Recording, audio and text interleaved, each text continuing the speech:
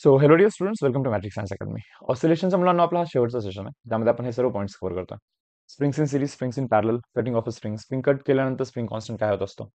Energy potential energy derivations composition of S H M दोन S H M overlap झाल्यानंतर resultant S H एमचा equation कसा बनत असतो?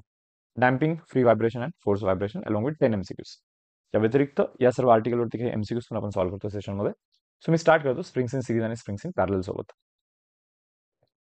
तर स्प्रिंग्स जर का सिरीजमध्ये कनेक्ट केले. ओके आणि स्प्रिंग्स इथे मी कनेक्ट करतो पॅरलमध्ये तर अशा केसेसमध्ये रिझल्टंट स्प्रिंग कॉन्स्टंट काय होत असतो? रिझल्टंट टाइम पिरियड कशा पद्धतीने वर्क करत असतो? ओके या गोष्टी आपण पाहतोय. सो हा स्प्रिंग आहे ज्याचा स्प्रिंग कॉन्स्टंट के वन आहे आणि हा स्प्रिंग आहे ज्याचा स्प्रिंग कॉन्स्टंट के टू आहे. लेट्स फॉर एक्झाम्पल मी याच्यावरती थोडासा फोर्स अप्लाय करतो आणि त्या अप्लाइड फोर्समुळे ओके पॉसिबल आहे की हा ब्लॉक थोडासा खाली येईल. हा स्प्रिंग पण थोडासा स्ट्रेच होईल. आणि हा स्प्रिंग पण थोडासा स्ट्रेच होईल. पण जे की दोघे स्प्रिंग्स पॅरल मध्ये कनेक्ट केल्यामुळे, ओके, या ब्लॉकला आपल्याला असंच हॉरिझॉन्टलच ठेवायचं आहे. सो दोघांचं एक्सटेन्शन हे सेम झालं पाहिजे. एक्स आणि एक्स मी फोर्स अप्लाय केलेला आहे एफ़ तर मी इथे असं equation लिहिन. Okay. Applied force F is equal to F one plus F two spring X distance डिस्टन्सने stretch झाल्यामुळे या स्प्रिंगमध्ये एक रिस्टोरिंग फोर्स आलेला आहे, ज्याला की मी एफ़ वन बोलतो ओके हा स्प्रिंग ओढत आहे वरती, या ब्लॉकला सिमिलरली हा स्प्रिंग ओढणार आहे वरती सेम ब्लॉकला हा स्प्रिंग एक्स डिस्टन्सने खाली आल्यामुळे या स्प्रिंगमध्ये पण जो रिस्टोरिंग फोर्स डेव्हलप झालेला आहे okay that is K two into X ज्याला मी एफ़ टू म्हणतो चलो. सो या स्प्रिंगमध्ये restoring force is F one या स्प्रिंगमध्ये restoring force is F two so F one plus F two या दोघांचा जो ऍडिशन आहे that should be equal to F because F हा अप्लाइड फोर्स आहे. ओके आपण अप्लाय केलाय फोर्स खाली ओढलाय त्याला. त्याच्यामुळे तो स्प्रिंग स्ट्रेट झाला आणि त्या प्रोसेसमध्ये स्प्रिंग रिस्ट्रिंग फोर्स अप्लाय करत आहे. आता याला रिप्लेसमेंटवाली डायग्राम जर का ड्रॉ करायची असेल रिप्लेसमेंट वाली डायग्राम याचा अर्थ ओके माझं असं म्हणणं की हे दोन स्प्रिंग कशाला लावताय? तर दोनच्या ऐवजी एकच स्प्रिंग लावा. बरोबर? त्याला तो मास लावा हवाला आणि त्याला एफ फोर्सनी ओढा. पण कंडिशन अशी आहे की या दोन स्प्रिंगच्या ऐवजी एक स्प्रिंग लावल्यानंतर सेम मास लावल्यानंतर सेम फोर्स लावल्यानंतर हा जो नवीन स्प्रिंग आहे हा नवीन स्प्रिंग पण सेम डिस्टन्सनी स्ट्रेच झाला पाहिजे. Which is equal to X मग जाऊन आपण बोलू शकतो की याचा रिप्लेसमेंट याचा रिप्लेसमेंट हा आहे. करेक्ट मग त्याचं इक्वेशन लिहितो आता मी इथे. फोर्स तर आपण एफ अप्लाय केला मी म्हणलं ओके पण आता ही नवीन स्प्रिंग जे आहे ना नवीन स्प्रिंगचा स्प्रिंग कॉन्स्टंट बी के नवीन स्प्रिंग पण एक्स डिस्टन्सने स्ट्रेच झाला पाहिजे असा आपला जो डिमांड आहे. सो म्हणून इथे रिस्टोरिंग फोर्स जो येतो, नवीन स्प्रिंगचा that should be K X and which equal to F applied force so म्हणून इक्वेशन इथे असं लिहितोय, की डाऊनवर्ड फोर्स जो एफ़ अप्लाय केला that should be equal to F one plus F two F is equal to F one plus F two but F म्हणजे F म्हणजे हा रिस्टोरिंग फोर्स पण एफच आहे. कारण की याचा रिप्लेसमेंट असा आहे. सो इथे रिस्टोरिंग फोर्स किती असला पाहिजे? के into X so K into X should be equal to F one हा is K one into X K one into X F two is K two into X X X X जर cancel कराल. तर resultant spring constant is equal to K one plus K two बनतो. म्हणून springs अशा पद्धतीने जर का पॅरलमध्ये connect करत असाल स्प्रिंग कॉन्स्टंट डायरेक्टली ऍड होत असतो. रेजिस्टन्स इन सिरीज सारखा फॉर्म्युला लावायचा. स्प्रिंग कॉन्स्टंट काय करतो directly add K one plus K two करून टाकायचं. पॅरलमध्ये जर का स्प्रिंग्स लावत असाल फॉर एक्झाम्पल इथे एक तीन एक स्प्रिंग कनेक्ट करतो मी हा एक स्प्रिंग आहे. इथे एक स्प्रिंग आहे आणि इथे एक स्प्रिंग आहे. असे तीन स्प्रिंग्स कनेक्ट केलेले आहेत. याचा spring constant K one this K two and this K three net spring constant okay हे पॅरलमध्ये कनेक्टेड आहेत सर्व. तर या केसमध्ये K one plus K two plus K three अशा पद्धतीने बनत नेट स्प्रिंग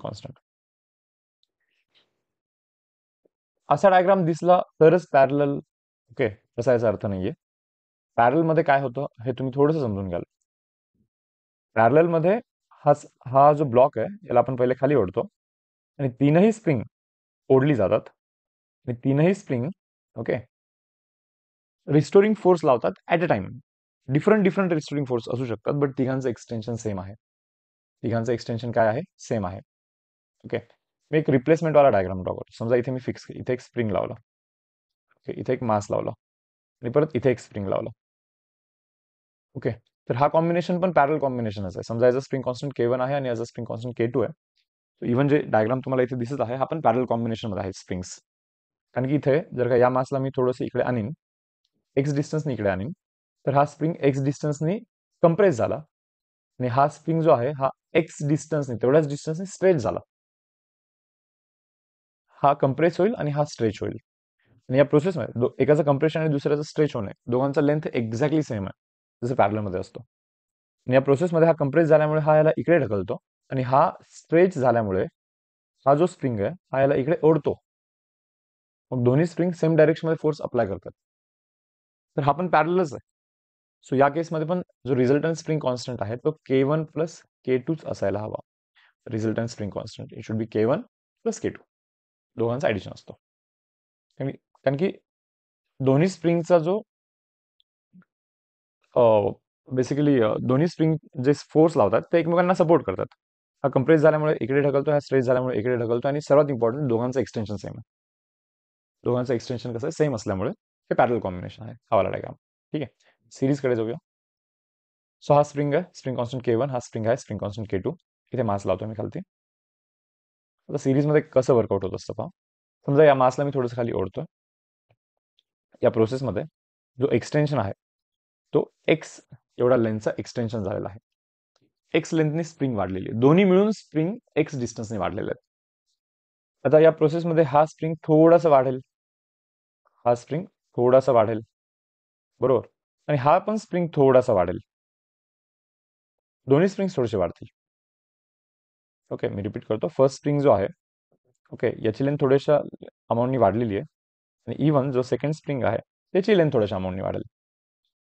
सो पहिला स्प्रिंग एक्स वन लेंथनी वाढला आहे आणि दुसरा स्प्रिंग समजा एक्स टू लेंथनी वाढला सो दोघांचं जे एक्सटेन्शन आहे, त्यांचं addition should be total extension त्याला रिप्लेसमेंटवाला डायग्राम जर का ड्रॉ असेल, तर मी म्हणेन की दोन्ही स्प्रिंग काढून टाका. तर मासला लावतो मी. ओके मासला आपण काहीतरी फोर्स लावला होता एफ़ मी पण इथे तेवढाच फोर्स एफ़ लावतो. आणि आता माझा असा डिमांड आहे की दोन स्प्रिंगच्या ऐवजी एक स्प्रिंग जी मी लावलेली आहे सेम फोर्स इथे आणि इथे लावलेला आहे. तर एक्सटेन्शन सेम झालं पाहिजे. म्हणजे हा जर का X one plus X two नी आहे तर हा पण एक्स वन प्लस एक्स टूनी वाढला पाहिजे. म्हणजे समजा एक्सनी वाढला पाहिजे. सो असं आपला डिमांड आहे. सो याचा जो स्प्रिंग कॉन्स्टंट आहे त्याला मी नेट स्प्रिंग कॉन्स्टंट बोलतो स्प्रिंग कॉन्स्टंट इन सिरीज बोलतो. केस बोलतो. ठीक आहे मी सर्व ठिकाणी इक्वेशन लिहितो. याच्यामध्ये जो रिस्टोरिंग फोर्स डेव्हलप झालेला आहे ते बा यामध्ये आणि यामध्ये रिस्टोरिंग फोर्स सेम डेव्हलप होणार आहे. कारण की जो ऑब्जेक्ट तुम्ही लावला आहे ओके तो ऑब्जेक्ट याच्यावरती पण तेवढाच फोर्स अप्लाय करतो याच्यावरती तेवढाच फोर्स अप्लाय करतो. दोघांवरती सेम फोर्स लागणार. हा ऑब्जेक्ट हंड्रेड न्यूटन जो काही फोर्स लावलेला आहे आपण इथे तो फोर्स याच्यावरतीही लागणार आहे आणि याच्यावरती लागणार आहे. दोघांवरती लागणार आहे. समजा तुम्ही हँग करताय बरोबर. आणि तुमचा पाय पकडून आणखीन कोणीतरी हँग करत आहे. आणि समजा याच्यावरती फोर्स लावला हंड्रेड न्यूटन याच्यावरती. तर तो याच्यावरती तर लागणारच आहे. याच्यावरती पण हंड्रेड न्यूटन लागणारच. पण तुम्ही असा विचार कराल नाही सर याच्यावरती जास्त लागेल. याचं वेट पण तर बरोबर याचं वेट पण आहे. सो दॅट या पर्सनवरती थोडंसं फोर्स जास्त लागेल मान्य पण इथे या स्प्रिंगचं वेट नाही आहे काही. ओके दोन्ही ऑब्जेक्ट वेटलेस आहेत असं पकडा तुम्ही दोन्ही पर्सन वेटलेस आहात आणि हंड्रेड न्यूटन फोर्स लावण्यात आला. तर तो याच्यावरती लागेल आणि याच्यावरती लागल्यामुळे तुम्हालाही ओढलं जाईल. सो दोघांवरती फोर्स कसा आहे? तर सेम आहे. रिस्टोरिंग फोर्स सो मी इथे इक्वेशन लिहितो. इथे रिस्टोरिंग फोर्स जो आहे, याच्यामध्ये जो डेव्हलप झालाय स्ट्रेस तो आहे के वन इंटू एक्स वन इथे जो रिस्टोरिंग फोर्स डेव्हलप झालेला आहे तो फोर्स आहे के टू इंटू एक्स टू पण जो रिस्टोरिंग फोर्स डेव्हलप झालेला आहे एफ़ सेम असला पाहिजे ना. कारण इथे अप्लाइड फोर्स इथे अप्लाइड फोर्स सेम आहे. सो रिस्टोरिंग फोर्स पण सेम असला पाहिजे. So F is equal to net spring constant into X इथून एक्स वन ची व्हॅल्यू शोधतो मी. F divide by K one is equal to X one okay इथून मी X two ची value शोधतोय. That is two F divide by K two आणि इथून एक्सची जी व्हॅल्यू आहे, ती आहे F divide by K S आणि हे टाकून देतो मी इथे. एक्सची व्हॅल्यू इथे टाकतो. F divide by springs in series is equal to F X one is equal to F divide by K one plus X two is equal to X two is equal to F divide by K two F F F तिन्ही ठिकाणून cancel होईल. So one divide by K S is equal to one divide by K one plus one divide by K two okay so सिरीजसाठी हा formula resistance in parallel मध्ये जो formula असतो ना तो इथे स्प्रिंगच्या केसमध्ये सिरीजमध्ये वापरायचा one by K S is equal to one by K one plus one by K two one by K one plus one by K two करायला तो one divide by K S येतो. Springs in series and parallel या व्यतिरिक्त हे तर फॉर्म्युले just काही questions आहेत? जसं की क्वेश्चन विचारला जातो नॉर्मली की एक ऑब्जेक्ट आहे. okay object it performs SHM of time period uh, t1 under the force f1 actually under the force f1 nasto under the spring whose spring constant is k1 okay another spring mechanic springer. whose spring constant is k2 same mass okay okay so this particle performs shm with time period t2 and under the force H F two असं बोललं जातं but तो actually spring constant K two असतो. आणि असं असते वेळी आता आपल्याला दोन कंडिशन सांगितल्या. जातात जर का हे दोन्ही स्प्रिंग्स ओके असे पॅरलमध्ये कलेक्ट केले म्हणजे वर्डिंग असं असतं. If F one and F two act simultaneously okay then time period of that same mass same mass आहे हा. Time period of that same mass is T बोलतात ते. मग टी वन टी टू आणि T मध्ये आपल्याला relation शोधायचं असतं. टी वन टी टू आणि टी काय शोधायचं असतो? रिलेशन शोधायचं असतो. मी तुम्हाला पहिले हे डायरेक्टली पार्ट कसं करायचं सांगतो. ओके तर या केसमध्ये हा स्प्रिंग आहे. ओके मी क्वेश्चन रिपीट करतो. Spring performs S H M of time period T one under the force F one spring constant K one spring performs S H M of time period T two under the spring constant K two if the both forces act simultaneously म्हणजे F one आणि F two म्हणजे K one आणि K two simultaneously जर act होतील the same mass performs S H M with time period T then T T one आणि T two यांच्यामध्ये आपल्याला relation शोधायचं. तर सरळ सरळ याचा रिझल्ट असा आहे. टाइम पिरियडच्या स्क्वेअरला ओके टाइम पिरियडच्या स्क्वेअरला ओके रेझिस्टन्स इन पॅरलचा फॉर्म्युला वापरायचा. बाय पॅरलमध्ये लावलेत ना तुम्ही स्प्रिंग तर टाइम पिरियडच्या स्क्वेअरला रेजिस्टन्स इन पॅरलचा फॉर्म्युला वापरायचा असतो हे मी थोडंसं एक्सप्लेन करतो. पहा. इथे जो time period that is equal to pi two pi by omega असतो, नाही का? ओमेगा म्हणजे under root K by M असतो. So two pi under root M by K ना? Time period two pi under root M by K one इथे time period पहा बरं. Time period is equal to two pi under root of M by K two आणि इथे जो time period आहे तो आहे two pi under root of M divide by इथे नेट स्प्रिंग कॉन्स्टंट हा तर K one plus K two असणार. Net spring constant should be K one plus K two verify करा बरं, हे खरंच व्हॅलिड आहे का? प्रत्येकांचा उलटा करा. वन बाय टी वन किती येईल? One divide by T one the square is two one divide by किंवा K one divide by four pi square into M one by T two square is equal to K two divide by four pi square into M असा येईल ना? आणि one by T square कराल ना? तो येतो. One by T square पहा है तो one divide sorry K one plus K two divide by four pi square into M असं येईल आणि ॲक्च्युली या दोघांचं ॲडिशन पहा टी वन आणि one by T one square one by T two स्क्वेअरचं addition पाहाल तर तुम्हाला समजेल दोघांचा डिनोमिनेटर सेम आहे that is equal to four pi square into M बस न्यूमिनेटरचं ॲडिशन म्हणजे के वन प्लस के टू करायचं जो की सेमच आहे सो हा फॉर्म्युला असा व्हॅलिड असतो। ओके स्प्रिंग जर का पॅरलमध्ये कनेक्ट केले, तर स्प्रिंगच्या टाइम पिरियडच्या स्क्वेअरला रेजिस्टन्स इन पॅरलचा फॉर्म्युला वापरायचा. One by T square is one by T one square plus one by T two square पण समजा जर का हे सिरीजमध्ये कनेक्ट केलं क्वेश्चन असा आला. इथे आपण दोन स्प्रिंग कनेक्ट करणार आहेत. हा एक स्प्रिंग आहे आणि हा एक स्प्रिंग आहे. ओके हा स्प्रिंग इथे कनेक्ट केला. के वन आणि हा स्प्रिंग इथे कनेक्ट केला. Is two K two same mass M आणि याला थोडासा डिस्प्लेस करून याचा टाइम पिरियड पाहिला, तर तो येतो टी आता या केसमध्ये ओके जो time time period T T one T two याच्यामध्ये रिलेशन शोधायचं असेल टाइम पिरियडच्या स्क्वेअरला रेजिस्टन्स इन सिरीजचा फॉर्म्युला वापरायचा सिरीजमध्ये लावले ना आपण, पण टाइम पिरियडच्या स्क्वेअरला रेजिस्टन्स इन सिरीजचा फॉर्म्युला वापरायचा. हे ऍप्लिकेबल असतो चलो व्हेरीफाय करून पाहू. ओके पहिले तर मी एक काम करतो, इथे स्प्रिंग कॉन्स्टंट काढतो. दोन स्प्रिंग जर का सिरीजमध्ये कनेक्टेड असतील तर नेट स्प्रिंग कॉन्स्टंट ओके माहिती ना one divide by K S is two one divide by K one plus one divide by K two one divide by K S is equal to हा इकडे हा इकडे so K one plus K two divide by K one K two याचा अर्थ K S is equal to K one K two divide by K one plus K two वरती multiplication आणि खालती addition असं लक्षात ठेवलं तरी चालतं.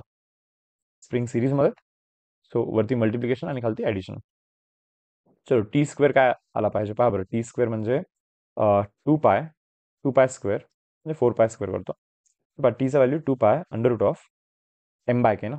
एम बाय के के म्हणजे ही गोष्ट पाहिजे. Net spring constant K one K two divide by K one plus K two बरोबर? टी टाइम पिरियड याचा टाइम पिरियड करा स्क्वेअर काय येतो? फोर पाय स्क्वेअर एम किती येतो? Four pi square M K one plus K two वरती जातो. K one plus K two whole divide by K one K two is equal to T one square पहा. याचा time period याचा time period आहे two pi under root of M by K one आणि याचा time period पहा. Two pi under root of M by K two करा दोघांचे square करा आणि ॲड करा. Four pi square okay common करतो. फोर पाय स्क्वेअर आणि एम कॉमन करतो हो तर. One by K one plus one by K two येईल ना? क्रॉस मल्टिप्लिकेशन कराल तर तुम्हाला असं समजेल की हे मॅच होईल एक्झॅक्टली सो हा रिझल्ट असा लक्षात ठेवायचा तुम्हाला. की दोन स्प्रिंग जर का असे सिरीजमध्ये कनेक्ट करण्यात आले मास लावण्यात आला तर रिझल्टंट एस एच एम जो आहे त्याचा जो टाइम पिरियड आहे त्याचा जो टाइम पिरियड आहे त्याच्या स्क्वेअरला टाइम पिरियडच्या स्क्वेअरला रेजिस्टन्स इन सिरीजचा फॉर्म्युला आहे म्हणजे T square is two T one square plus T two square okay so अशा पद्धतीने या गोष्टी लक्षात ठेवायच्या आहेत स्प्रिंग्स जर का N number of springs one two three तीन स्प्रिंग्स अशा के के के जर का सिरीजमध्ये कनेक्ट केलं, तर डायरेक्टली जो स्प्रिंग कॉन्स्टंट तो के बाय थ्री बनत असतो. सिरीजमध्ये one divide by K S is equal to one divide by K plus one divide by K plus again one divide by K that is one divide by K S is equal to three divide by K so उलटा कराल तर के S एसची value जी आहे, ते के divide by three बनत असते. सर्व गोष्टी बेसिक बेसिक माहिती आपल्या सर्वांना, ठीक आहे? So cutting of a spring तर स्प्रिंगला आता कट केल्याने काय होतं? तर एक स्प्रिंग ओके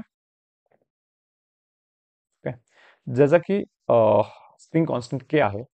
आणि समजा या स्प्रिंगला मी अर्धा केला असा. बरोबर. असे दोन अर्धे तुकडे केले. या एका स्प्रिंगला असे दोन हाफ हाफ तुकडे केलेले आहेत मी. मी काय केलं? मध्ये थोडासा गॅप ठेवला आणि मग या दोघांना अशा पद्धतीने लावलं. और तुम्ही असं समजा की या स्प्रिंगला मी दोन स्प्रिंगमध्ये इमॅजिन करतोय. ओके अर्धा अर्धा लेनच्या तर हा जो कंप्लीट स्प्रिंग आहे त्याचा हाफ पार्ट वरती आणि हाफ पार्ट खालती. आहे तसा स्प्रिंग आहे. कट नाही केलं मी. पण त्याला दोन पार्टमध्ये इमॅजिन करतो असं समजा तुम्ही. आता याचा स्प्रिंग कॉन्स्टंट के असेल. बरोबर? तर स्प्रिंगला अर्धा केल्याने या स्प्रिंग कॉन्स्टंटचा या स्प्रिंगचा जो स्प्रिंग कॉन्स्टंट होत असतो डबल होत असतो. स्प्रिंगला अर्धा कराल स्प्रिंगला हाफ कराल तर स्प्रिंग कॉन्स्टंट डबल होतो. स्प्रिंगला वन थर्ड कराल तर स्प्रिंग कॉन्स्टंट ट्रिपल होतो. थ्री के होतो. सो जसं की या स्प्रिंगचा मी अर्धा पार्ट केला वरती मग त्याचा स्प्रिंग कॉन्स्टंट टू के आणि हा रिमेनिंग हाफ़ पार्ट जो आहे खाली, याचा पण परत स्प्रिंग कॉन्स्टंट टू के बरोबर? पण तुम्हाला तर माहिती, हे दोन स्प्रिंग्स कसे लावलेले आहेत आपण सिरीजमध्ये मग सिरीजमध्ये one divide by net spring constant in series is one divide by two K plus one divide by two K बरोबर? याचा अर्थ one divide by spring constant in series is equal to divide by two K and which is equal to K is equal to K असा बनेल हा. हा बरोबर ना? हेच तर हवं होतं आपल्याला. या दोघांचा रिझल्टन केल्याने पण हाच आला पाहिजे. कारण की ॲसेच आपण याला प्रॅक्टिकली कट नाही केलं. फक्त आपण इमॅजिन केलं आहे. अर्धा पार्टवरती अर्धा पार्ट खालती सो त्या अर्ध्या पार्टचा स्प्रिंग कॉन्स्टंट टू के अर्ध्या पार्टचा स्प्रिंग कॉन्स्टंट टू के आणि या दोघांना सिरीजमध्ये कनेक्ट केलं टू के आणि टू केचा वापस केज बनत असतो. सो ही गोष्ट अशा पद्धतीने लक्षात ठेवा. स्प्रिंगला जर का अर्धा केला तर स्प्रिंग कॉन्स्टंट डबल स्प्रिंगला वन फोर्थ केला तर स्प्रिंग कॉन्स्टंट फोर टाइम्स आणि स्प्रिंगची लेंथ जर का तुम्ही वाढवली समजा हा एल लेंथचा स्प्रिंग आहे जर स्प्रिंग कॉन्स्टंट के आहे. ओके आणि एक इथे एक स्प्रिंग आहे आपल्याकडे ज्याची लेंथ थ्री एल आहे. तर ऑटोमॅटिकली लेंथ तुम्ही ट्रिपल केला ना spring constant K by three झाला पाहिजे. किती व्हायला हवा? K divide by three one third होतो. Length triple so spring constant one third okay ठीक आहे. जे काही एखाद दोन न्यूमेरिकल पण आहेत सेशनमध्ये पुढे जाऊन. तेव्हा पोटेन्शियल एनर्जी आणि कॅनेटिक एनर्जी पोटेन्शियल एनर्जीचं डेरिवेशन करू. Work under variable force standard येत होतो. कॅनेटिक एनर्जी तर पहिले कॅनेटिक एनर्जी करतो. करतो होतं कॅनेटिक एनर्जी सोपं half M V square so half M वेलॉसिटीचा formula आपल्या सर्वांना माहिती. Omega under root of A square minus of X स्क्वेअरचा square so half M omega square omega square okay ब्रॅकेटमध्ये A square minus of X square ही झालेली आहे kinetic energy okay so kinetic energy is equal to half M तसं M omega स्क्वेअरला omega म्हणजे under root of K by m असतो ना correct so square कराल तर omega square is to k by m बनतो. So m into omega square याला तुम्ही के पण लिहू शकता तसं. सो याला मी एम इंटू ओमेगा स्क्वेअरला के पण लिहू शकतो बट ठीक आहे half m omega square a square minus half m omega square x square जसा फॉर्म्युला बनतो कायनेटिक एनर्जीचा आय होप फॉर्म्युला सर्वांना हा पाठ असेल व्यवस्थित ओके कायनेटिक एनर्जीचा ॲसेच काही डेरिवेशन आहे वेलोसिटी ऑलरेडी आपण फाईन केलेली असते एस एच एमची ती सबस्टिट्यूट करायची ही बनते कायनेटिक एनर्जी याच्यामध्ये हा पार्ट टोटल एनर्जी हा पार्ट पोटेन्शियल एनर्जी असतो। तर पोटेन्शियल एनर्जीचं आपल्याला डेरिवेशन करायचं सध्या ओके तर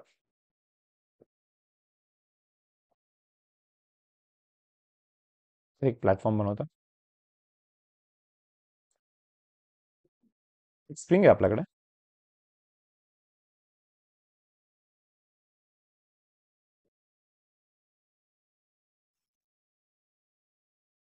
ठीक आहे.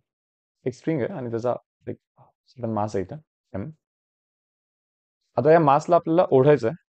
ओके सर्टन डिस्टन्सवरती लेट से फॉर एक्झाम्पल हा डिस्टन्स जो आहे let that be capital X okay capital X डिस्टन्सपर्यंत मला त्या स्प्रिंगला ओढायचं आहे. इथेपर्यंत ओढायचं या प्रोसेसमध्ये आपल्याला वर्क करायला लागणार. तर स्टार्टिंगमध्ये मी काय करेन? मी याला ओढायला सुरू करेन. पण तुम्ही समजून घ्याल हा मीन पोझिशन आहे. हा जो आत्ताचा पोझिशन आहे इज मीन पोझिशन ज्यामध्ये मीन पोझिशनवरती स्प्रिंग ना कंप्रेस झाली आहे ना स्ट्रेच झाली आहे. स्प्रिंग जर का कंप्रेस झाली असेल असेल तर स्प्रिंग इकडे ढकलेल स्ट्रेच झाली असेल तर इकडे ओढेल. पण या पोझिशनवरती स्प्रिंग ना कंप्रेस झाली आहे ना स्ट्रेच झाली आहे. तर स्प्रिंगला मी ओढायला सुरू करतो. कारण की आता स्प्रिंग मला ओढतच नाही तिकडे. तर मासला ओढत नाहीये. सो काही फोर्स लागत नसल्यामुळे याला इकडे ओढण्यासाठी ऑलमोस्ट झिरो फोर्स पण काफी आहे. म्हणजे तुम्ही सुरुवातीला zero point zero zero one Newton असा फोर्स लावाल तरी तो मास इकडे येऊन जाईल. म्हणजे खूप कमी फोर्स लावाल असं म्हणतोय सो मग खूप कमी फोर्स लावला आणि तो इथे आला. पुढे आला थोडासा. पण या प्रोसेसमध्ये तो थोडासा स्ट्रेच झालेला आहे आता. स्प्रिंग स्ट्रेच झाल्यामुळे स्प्रिंग आता तिकडे ओढायला सुरू करेल. आपल्याला माहिती ना restoring force is directly proportional to displacement from mean position जितकं जास्त डिस्प्लेसमेंट होईल जितकं जास्त दूर जाईल तो मेन पोझिशनपासून स्प्रिंग तितक्याच जास्त फोर्सनी ओढायला स्टार्ट करेल. सो या प्रोसेसमध्ये जेव्हा मी थोडंसं ओढलं त्याला थोडंसं ओढण्यासाठी मला काही खूप फोर्स लावला लावायला लागला नाहीये. तर थोडंसं ओढला गेल्यानंतर स्प्रिंग त्याला ओढत आहे जास्त फोर्सने आता मला आणखीन त्याला इकडे ओढायचं असेल तर मला तेवढाच फोर्स लावायला लागेल म्हणजे मला फोर्स वाढवायला लागेल. बरोबर? सो इथून परत पुढे आणण्यासाठी मला फोर्स वाढवायला लागला. आता या केसमध्ये स्प्रिंग एवढी स्ट्रेच झाली आहे. तर स्प्रिंग आणखीन जास्त फोर्सनी ओढत आहे तिकडे. तर मला पण अप्लाइड फोर्स वाढवायला लागला. आता कमी फोर्स लावून चालणार नाहीये. माझा पण फोर्स मला वाढवायला लागणार आहे. जर का त्याला वापस तिकडे घेऊन जायचं असेल तर आणखीन. मग मी पण फोर्स वाढवला. मी फोर्स वाढवल्यामुळे तो ब्लॉक आणखीन इकडे आला. स्प्रिंग खूपच जास्त स्ट्रेच झाला आता स्प्रिंग खूपच जास्त फोर्स लावत आहे मला पण खूप जास्त फोर्स लावायला लागेल. म्हणजे स्प्रिंग जेवढा फोर्स लावेल ना एक्झॅक्टली तेवढा फोर्स लावायला लागेल. त्याच्यापेक्षा किंचितचा जास्त फोर्स लावायला लागेल. मला त्याला इकडे घेऊन जाण्यासाठी. सो मला पण फोर्स वाढवायला लागतो. परत सेम गोष्ट होते तशीच कंटिन्युअसली. सो म्हणजे इथे आणण्याच्या प्रोसेसमध्ये. इथे आणण्याच्या प्रोसेसमध्ये डिस्प्लेसमेंट तर एक्स झालेला आहे. आपल्याला माहिती वर्कचा फॉर्म्युला असतो फोर्स इंटू डिस्प्लेसमेंट डिस्प्लेसमेंट तर एक्स झालाय बट मुद्दा आहे फोर्सचा. की ते ॲज सच असा कोणता कॉन्स्टंट फोर्स नाहीये. फोर्स हा कंटिन्युअसली चेंज होतो सुरुवातीला मी कमी फोर्स लावला मग नंतर फोर्स वाढवायला लागला. नंतर नंतर फोर्स जास्त वाढवायला लागला बरोबर? तर सुरुवातीला वेगळा फोर्स लावला मधात वेगळा फोर्स लावला एंड एंडला जास्त फोर्स लावायला लागला. सो इथे फोर्स जो आपण अप्लाय केलेला आहे तो व्हेरिएबल आहे. So this comes under work done under variable force आणि अशा केसेसमध्ये इंटिग्रेशनचा यूज करायचा असतो. तसा हा डेरिवेशन दोन वेने येईल. ॲव्हरेज फोर्सनी पण हा डेरिवेशन येतो. ॲव्हरेज फोर्सनी पण हा डेरिवेशन बेसिकली करता येतो. बट मी पहिले इंटिग्रेशनही सांगतो तो प्रॉपर मेथड आहे. एक्झाममध्ये वगैरे आला बोर्ड एक्झामिनेशनमध्ये तर इंटिग्रेशनच्या मेथडनीच करायचा आहे. तर वर्क डन अंडर व्हेरिएबल फोर्सच्या केसमध्ये काय करायचं असतं पहा एक मधातली छोटीशी पोझिशन ॲज्युम करायची असते. समजा ब्लॉक आता इथे आहे. आणि या पोझिशनवरतून कोणता एक रॅन्डम पोझिशन ॲज्युम करायचा असतो? आणि त्या पोझिशनपासून थोडंसं पुढे घेऊन जायचं त्याला. डीएक्स डिस्टन्स पुढे घेऊन जायचा. हा डिस्टन्स खूप कमी आहे. म्हणजे हा जो डिस्प्लेसमेंट आहे ना खूप खूप जास्त कमी आहे. आता इथे दाखवतोय मी जास्त स्क्रीनवरती बट तो खूप कमी आहे. असं समजून गेलं सो वर्डन अंडर व्हेरिएबल फोर्सच्या केसमध्ये जे स्टेप्स आहेत ते असे असतात. की या ब्लॉकला कोणत्या तरी एका रॅन्डम मधातल्या कोणत्याही रॅन्डम पोझिशनवरती अज्युम करायचा इमॅजिन करायचा. आणि त्या रॅन्डम पोझिशनपासून एकदम थोडासा डीएक्स डिस्टन्स पुढे घेऊन जायचं त्याला. किंचितचा पुढे घेऊन जायचं. आणि पाहायचं त्या प्रोसेसमध्ये बेसिकली किती वर्क झालेला आहे.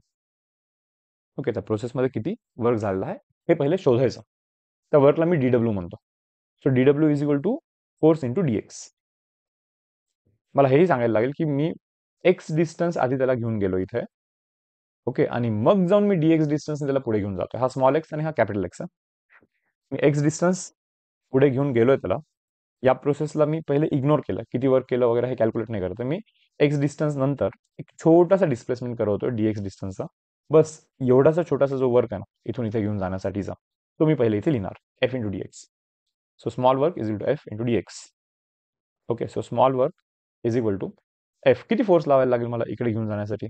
या पर्टिक्युलर पोझिशनवरती ओके स्प्रिंग जेवढा रिस्टोरिंग फोर्स लावेल तेवढाच फोर्स मला लावायला लागेल तिकडे घेऊन जाण्यासाठी. सो स्प्रिंग किती रिस्टोरिंग फोर्स लावेल? स्प्रिंग तर एक्स डिस्टन्सने स्ट्रेच झाल्यामुळे स्प्रिंग के एक्स एवढा रिस्टोरिंग फोर्स लावेल. K x because restoring force is direct to displacement restoring force is equal to k x so मला के एक्स एवढा फोर्स लावायला लागेल कारण की स्प्रिंग पण के एक्स लावतं. सो तेवढा फोर्स मी लावला आणि डिस्प्लेसमेंट झाला डी एक्स आता मी करीन इंटिग्रेशन ओके इंटिग्रेशनचा मिनिंग काय पहा? की इथून इथे घेऊन जाण्यासाठी जो छोटासा वर्क केला बरोबर? असेच छोटे छोटे छोटे वर्क करत आपल्याला इथेपर्यंत पोहोचायचं असतं बरोबर ना? आणि असेच छोटे छोटे वर्क करत आपण ऑलरेडी इथेपर्यंत आलो आहोत. मग या सर्व छोट्या छोट्या वर्कचा ॲडिशन म्हणजे इंटिग्रेशन फक्त इंटिग्रेशनमध्ये सांगायला लागतं इंटिग्रेशन हा प्रोग्राम आहे त्याला आपल्याला लिमिट सांगायला लागतात की लिमिट असतात डीएक्सचे कोणाचे? लिमिट असतात डीएक्सचे डीएक्सचे म्हणजे एक्सची व्हॅल्यू कुठून कुठेपर्यंत चेंज होईल सांगा बरं. एक्सची व्हॅल्यू सुरुवातीला तर इथे झिरो होती आणि शेवटी एक्सची व्हॅल्यू कॅपिटल एक्स होती. सो म्हणून झिरोपासून एक्स पर्यंत आपल्याला डिस्प्लेसमेंट करायचं आहे आपल्याला इनपुट द्यायला लागतं. सो डी डब्ल्यूचा इंटिग्रेशन इज डब्ल्यू हे बाहेर आला. X integration is x square by two okay आणि लिमिट जे आहे ते झिरो टू एक्स पहिले एक्स टाका. So k x square divide by two minus of zero टाकला तर झिरोच होतं असे. सो वर्क डन बनला half k x square work done is equal to half k x square so जितका work आपण केलेला आहे तितकी एनर्जी स्टोअर झालेली आहे in terms of potential energy so me potential एनर्जीचा फॉर्म्युला बनतो half k x square so half तसं आपण के बाय एमला ओमेगा स्क्वेअर लिहितच ओके सो केला तुम्ही एम ओमेगा स्क्वेअर पण लिहू शकता. Half m omega square x square हा बनतो potential एनर्जीचा formula so half k x square is potential energy so half m omega square x square half m omega square x square याला तुम्ही करू शकता. Work is equal to force into displacement okay so displacement तर x आहे. Displacement हा x capital x हा? हा x ठीक आहे. So force into displacement but राहिला प्रश्न फोर्स तर फोर्सला तुम्ही ॲव्हरेज फोर्स घेऊ शकता. आणि फोर्स तुम्ही पूर्ण प्रोसेसमध्ये डिफरंट डिफरंट फोर्स अप्लाय करत गेलात. अशा केसमध्ये ॲव्हरेज फोर्स घेतला तरी चालतो. या पर्टिक्युलर केसमध्ये चालतो बिकॉज त्यामध्ये जो फोर्स आहे ओके तर तो लिनियरली चेंज होतो लिनियरली म्हणजे with respect to x gradually linear वेमध्ये म्हणजे पॉवर वन असल्यामुळे लिनियरली चेंज होत असल्यामुळे ॲव्हरेज फोर्स वर्क करत असतो. Not is average force initial force is zero सुरुवातीला लावण्याची गरज नाही आहे फायनल फोर्सचा के एक्स होता. K x divide by two का? कारण की टोटल एक्स डिस्प्लेसमेंट झाला होता ना. So restoring force finally k x होता इथं. So initial force was final force divide by two so हा पण कॅल्क्युलेशन कराल. तर हाफ़ के एक्स स्क्वेअरच बनणार आहे. किती बनणार आहे? हाफ़ के एक्स स्क्वेअर जो आपला इथे आलेला आहे. तर हे शॉर्ट वाटेल तुम्हाला. एकदम लवकर मिळेल याच्याने तुम्हाला तो answer half k x square but like procedure ही आहे. या प्रोसिजरने कराल तर बेटर आहे. ओके तर हा झाला potential energy and kinetic energy त्यांचे ग्राफ पण थोडेसे ड्रॉ करू आपण. इथे लिहितो मी फॉर्म्युले दोघांचे. पोटेन्शियल एनर्जी फॉर्म्युला कॅनेटिक लिहितो त्याच्यामध्येच पोटेन्शियल रिप्रेझेंट करू. कॅनेटिक एनर्जी फॉर्म्युला जो आपण पाहिला होता आता half m omega square a square minus half m omega square x square त्यातला हा जो पार्ट आहे जो आपण आता डिराईव्ह केला होता तो आहे पोटेन्शियल एनर्जी पण हा मायनस आहे. सो हा पोटेन्शियल एनर्जी जर का तिकडे जाईल तर kinetic energy plus potential energy, म्हणजे टोटल एनर्जी बनेल ना, जी की बनत आहे half m omega square a square. तर ही बनलेली आहे total energy. So total energy of a particle performing S H M depends on amplitude अँप्लिट्यूडच्या स्क्वेअरला प्रोपोर्शनल म्हणजे अँप्लिट्यूड डबल डबल असेल तर टोटल एनर्जी ही फोर टाइम्स आहे. अँप्लिट्यूड ट्रिपल तर टोटल एनर्जी नाईन टाइम्स आहे. It also depends on omega म्हणजे किती फास्ट ऑसिलेशन करतो तो त्यावरती डिपेंड करेल टोटल एनर्जी आणि मास तर आहेच ॲट द शेवटी. So total energy is half m omega square a square kinetic एनर्जीचा expression potential एनर्जीचा एक्सप्रेशन माहिती आपल्याला? ग्राफ ड्रॉ करायचा आपल्याला, की पार्टिकल जो एस एच एम परफॉर्म करतो okay let this be mean position zero let this be positive amplitude let be negative extreme position okay तर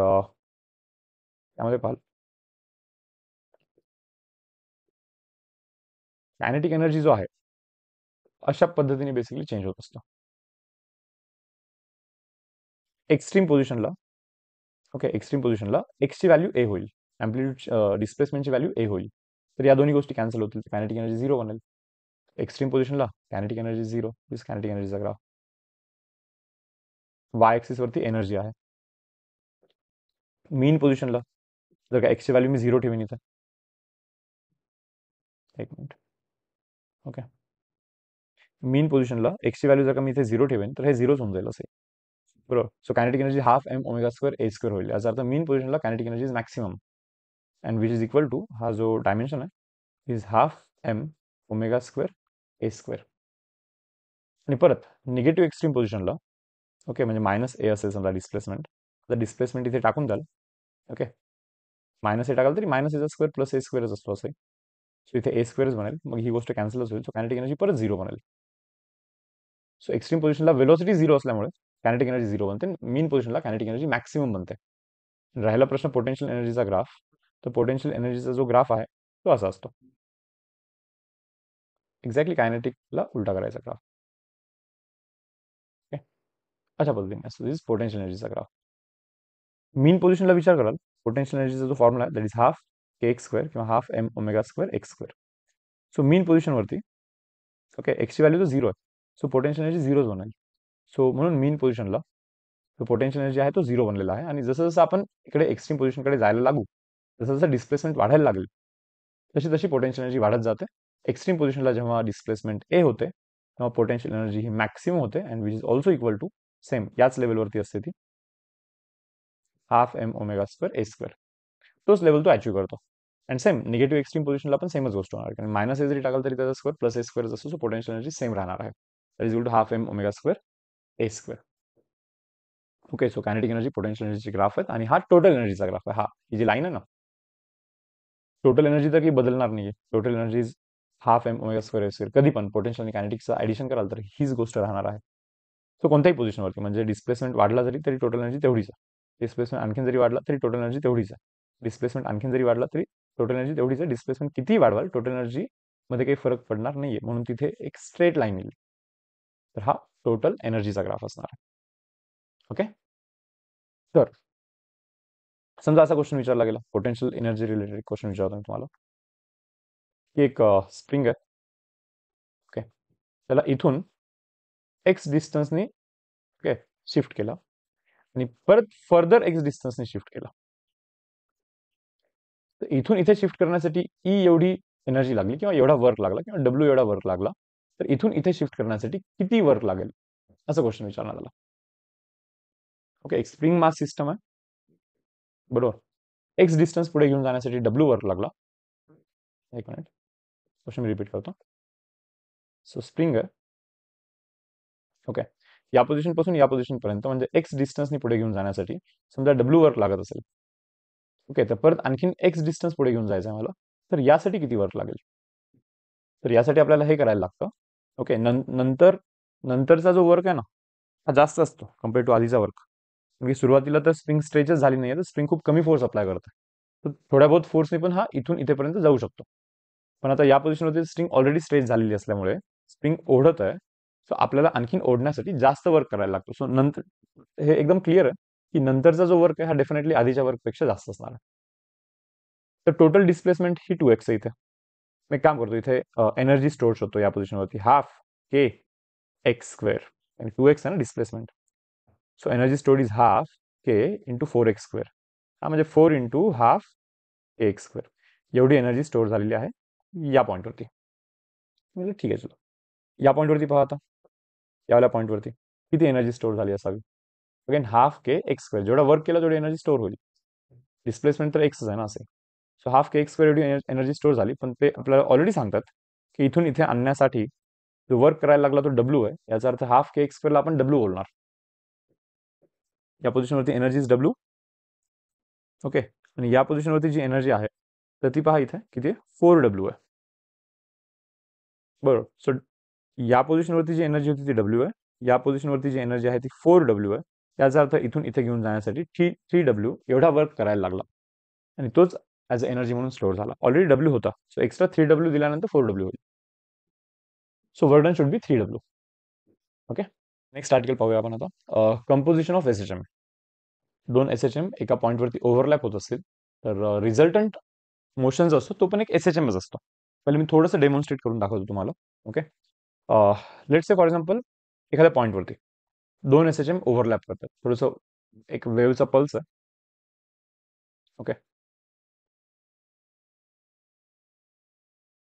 अशी एक स्ट्रिंग आहे समजा. आणि स्ट्रिंगला तुम्ही थोडंसं एक एक झटका दिला हाताने. ओके व्हायब्रेट करवलं. तर एक अशी पल्स तयार होईल. आणि ही पल्स बेसिकली अशी पुढे जात राहील. म्हणजे थोड्या वेळानंतर हे असं होईल की हा इथे येईल पल्स आणखीन थोड्या वेळानंतर असं होईल की हा पल्स इथे येईल. असं पुढे पुढे जात राहील. आय होप तुम्हाला इमॅजिन झालं असेल. ठीक आहे. या स्ट्रिंगवरती या स्ट्रिंगवरती इकडून पण एक पल्स जनरेट करण्यात आली. ओके हा इकडे जाईल हा इकडे जाईल. कुठेतरी ओव्हरलॅप होतील दोघे एकमेकांवरती. बरोबर. सो थोड्या वेळानंतर असं होईल की लाईक हा इथे येईल. ओके आणि हा पण ऑलमोस्ट जवळ आलेला आहे. ऑलमोस्ट ओव्हरलॅप होण्याच्या मार्गावरती आहेत ते. तर मी इथे असं लिहितो. असं ड्रॉ करतो पहा. की आता हा जो फर्स्ट वेव्ह आहे किंवा फर्स्ट पल्स जो आहे तो इथे असा. ओके आणि हा जो सेकंड पल्स पण आहे तो पण बेसिकली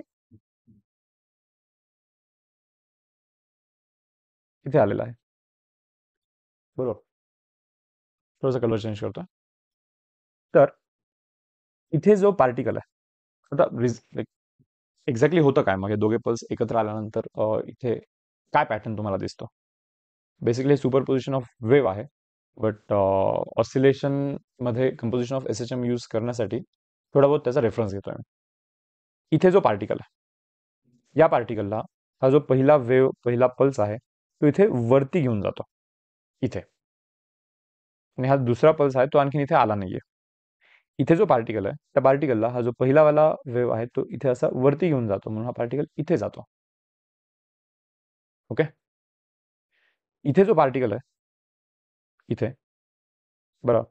तर इथल्या पार्टिकलला फर्स्ट वाला जो वेव आहे तो इथे वरती घेऊन जाण्याचा ट्राय करतो इथे. आणि सेकंड वाला वेव पण जर का पाहाल ना इथे तर तो थोडासा खूपच छोटा आहे तो. थोडा डिस्टन्स वरती घेऊन जाण्याचा ट्राय करतो. सो दोघांचा ऍडिशन म्हणजे तो पार्टिकल थोडासा वरती जातो. एकदम किंचितचा वरती. हाला पार्टिकल इथे जो पार्टिकल आहे फर्स्ट वेवची इच्छा आहे एवढा डिस्टन्स वरती घेऊन जाण्याची. बरोबर? सेकंड वेवची इच्छा आहे एवढा डिस्टन्स वरती घेऊन जाण्याची. सो दोघांचं ऍडिशन जे आहे फर्स्ट वेव्हची ॲडिशन एवढा डिस्टन्स वरती घेऊन जाण्याची आणि सेकंड वेव्हचा एवढा डिस्टन्स वरती घेऊन जाण्याची जी इच्छा आहे. ओके तर दोघांचं ऍडिशन कराल तर तो इथे जाईल. इथे जो पार्टिकल फर्स्ट वेव्ह इथे घेऊन जाण्याचा प्रयत्न करतोय. त्याच पार्टिकलला सेकंड जो पल्स आहे तो तेवढाच ऑलमोस्ट तेवढाच डिस्टन्स वरती घेऊन जाण्याचा ट्राय करतो सो दोघांचं ऍडिशन जर का कराल तर मे बी तो पार्टिकल इथे चालला जाईल. हा वाला जो पार्टिकल आहे फर्स्ट वेव्ह थोडा डिस्टन्स सेकंड वेव्ह एवढा डिस्टन्स म्हणजे मे बी दोघे मिळून इथेपर्यंत घेऊन जातील त्याला. या पार्टिकलला फ़र्स्ट वेव थोडा सेकंड वेव एवढा डिस्टन्स अशा पद्धतीने. दोघे ओव्हरलॅप झाल्यानंतर ओके हा वेव बनतो. अशा पॅटर्नमध्ये ठीक आहे. सो जेव्हा दोन वेव्स दोन एस एच एम एकत्र resultant displacement okay at that particular point is given by vector sum of displacement due to individual S H Ms म्हणजे एखाद्या पॉईंटवरती ओके एखाद्या पॉईंटवरती हे दोन्ही पॉईंट सेमच आहेत. अलग अलग ठिकाणी दाखवलेत मी फक्त. समजा एखादा एस एच एम आला आणि त्या एस एच एमची इच्छा आहे या पॉईंटला वरती फोर सेंटीमीटर घेऊन जाण्याची इच्छा आहे. आणि एक दुसरा एस एच एम आला दुसरा व्हायब्रेशन आला आणि या पॉईंटला त्याला टू सेंटीमीटर वरती घेऊन जाण्याची इच्छा आहे. ओके तो पार्टिकल हा दोघांचा ॲडिशन म्हणजे सिक्स सेंटीमीटर वरती जातो. दोघांचं ऍडिशन करायचं. सिक्स सेंटीमीटर तो वरती चालला जाईल. सो पाहिजे थोडंसं मी रिप्रेझेंट करण्याचा प्रयत्न करतो इथे एक लाईन ड्रॉ करतो अशी इथे हॉरिझॉन्टल ठीक आहे थोडेसे markings one two three four five six seven eight nine okay minus one minus two minus three minus four minus five minus six minus seven minus eight minus nine हा एक particle आहे सेमच particle आहे दोन S H M त्या पार्टिकलवरती आपण basically overlap केलेली आहेत. तर फर्स्ट एस एच एम जो आहे तो या पार्टिकलला इथे घेऊन जाण्याचा प्रयत्न करतो second S H M same पार्टिकलला okay या लेवलवरती म्हणजे टू सेंटीमीटरवरती घेऊन जातो. First S H M one centimetre second S H M two सेंटीमीटरवरती घेऊन जातो तो ॲक्च्युअलमध्ये पार्टिकल जाईल थ्री सेंटीमीटरवरती सो एक्झॅक्टली थ्रीच्या लाईनवरती मी ड्रॉ केला तो point after one second again हा याला थोडंसं वरती घेऊन जाईल. जेवढं केवढं वरती असेल. Okay so second S H M पण सेकंड एस एच एम पण, समजा आता हा टू सेंटीमीटरवरती गेला. सेकंड एस एच एम समजा त्याला आणखीन टू सेंटीमीटरवरती घेऊन जात असेल फोर सेंटीमीटरवरती गेला. तरी two centimetre plus four centimetre म्हणजे सिक्स सेंटीमीटर म्हणजे one two three four five six म्हणजे सिक्सच्या लेवलवरती बेसिकली तो पॉईंट आला पाहिजे इथे. रिझल्टंट होईल असं की तो पार्टिकल ऍक्च्युली सिक्स सेंटीमीटर वरती जाईल. आता वापस येण्याचा टाइम सुरू झाला. आता हा वापस येण्याचा प्रयत्न आता हे हा एक्स्ट्रीम पोझिशनला गेला. हा पण एक्स्ट्रीम पोझिशनला गेला. आता हा वापस वापस येतोय. हा वापस परत इथून आला इथून इथे आला समजा. वन सेंटीमीटर वरती आला आणि हा पण वापस इथून इथे आला म्हणजे टू सेंटीमीटर वरती आला. मग हा पण वापस इथून इथे येईल. कारण की हे one plus two is two three centimetre परत हा खाली येईल. सिमिलर पॅटर्नमध्ये हा इथे आला, एक सेंटीमीटर खाली आला, तर समजा हा दोन सेंटीमीटर खाली जातो. तर हा एक सेंटीमीटर खालती, हा दोन सेंटीमीटर खालती, तर ओव्हरऑल हा तीन सेंटीमीटर खालती जाईल इथे. परत आणखीन एक सेंटीमीटर हा खालती गेला. हा दोन सेंटीमीटर खालती गेला. तर हा टू सेंटीमीटर टोटल हा फोर सेंटीमीटर तर ओव्हरऑल हा सिक्स सेंटीमीटर खालती जाईल. इथे कुठेतरी येईल. परत हा वापस इथे जाईल. हा वापस इथे जाईल. तर हा पण वापस इथे जाईल. सो तुम्ही जर का नोटीस कराल, तर फ़र्स्ट एस एच एम जो आहे तो एवढा व्हायब्रेशन चालू आहे. असा ऑसिलेट करत राहतो तो असा. बरोबर. सेकंड एस एच एम जो आहे तो वरती जातो खालती येतो. एवढा ऑसिलेशन करत राहतो second S H M okay पण रिझल्टंट एस एच एम जो आहे ना तो दोघांपेक्षा थोडासा किंचितसा मोठा एस एच एम करतोय. इन फेज येथे इन फेज याचा अर्थ बेसिकली हा जेव्हा एक्स्ट्रीमला गेला तेव्हाच हा एक्स्ट्रीमला गेला म्हणून एक अँप्लिट्यूड वाढत आहे. किंवा हा मीनला सुरू झाला हा पण मीनला सुरू झाला आणि त्याच्यानंतर दोघे पण वरती जाण्याची इच्छा ठेवतात. सेम स्टेट ऑफ व्हायब्रेशन असल्यामुळे जो ऑसिलेशन इथे बनत आहे तो जास्त अँप्लिट्यूडचा बनत आहे, मोठ्या अँप्लिट्यूडचा बनत आहे. याची अँप्लिट्यूड टू सेंटीमीटर होती, याची फोर सेंटीमीटर होती, तर याची अँप्लिट्यूड ही बेसिकली सिक्स सेंटीमीटर झालेली आहे. इनफेज बोलतो आपल्याला. पण समजा हे असं झालं असतं आउट ऑफ़ फ़ेज़ वाले एस एच एम जर का एकत्र आले असते आउट ऑफ़ फ़ेज़ वाले एस एच एम मीन्स याची इच्छा आहे एक सेंटीमीटर वरती घेऊन जाण्याची.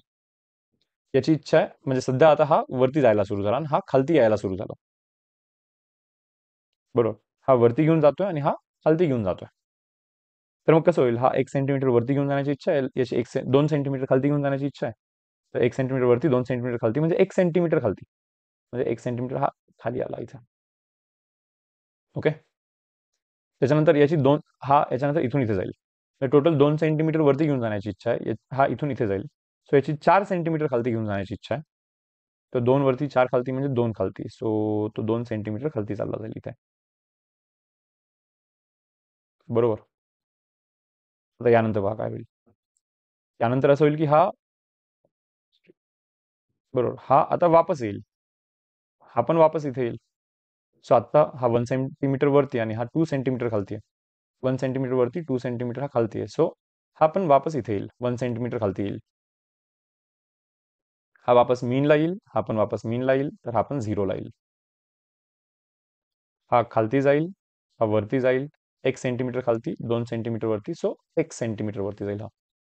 असंच चालू राहील तर हा एवढाच ऑसिलेशन करतोय कारण की आउट ऑफ फेजमध्ये आल्यामुळे ओके याचा अँप्लिट्यूड किती आहे? तर टू सेंटीमीटर याचा अँप्लिट्यूड किती आहे? तर फोर सेंटीमीटर सो म्हणून आउट ऑफ फेज वाले एस एच एम ओव्हरलॅप झाले तर रिझल्टंट एस एच एम जो बनतो त्याचा अँप्लिट्यूड हा मोठा वाल्याचा अँप्लिट्यूड मायनस छोटा वाल्याचा अँप्लिट्यूड जर का डिफरन्स कराल तर टू सेंटीमीटरचा अँप्लिट्यूड बनेल हा वाला.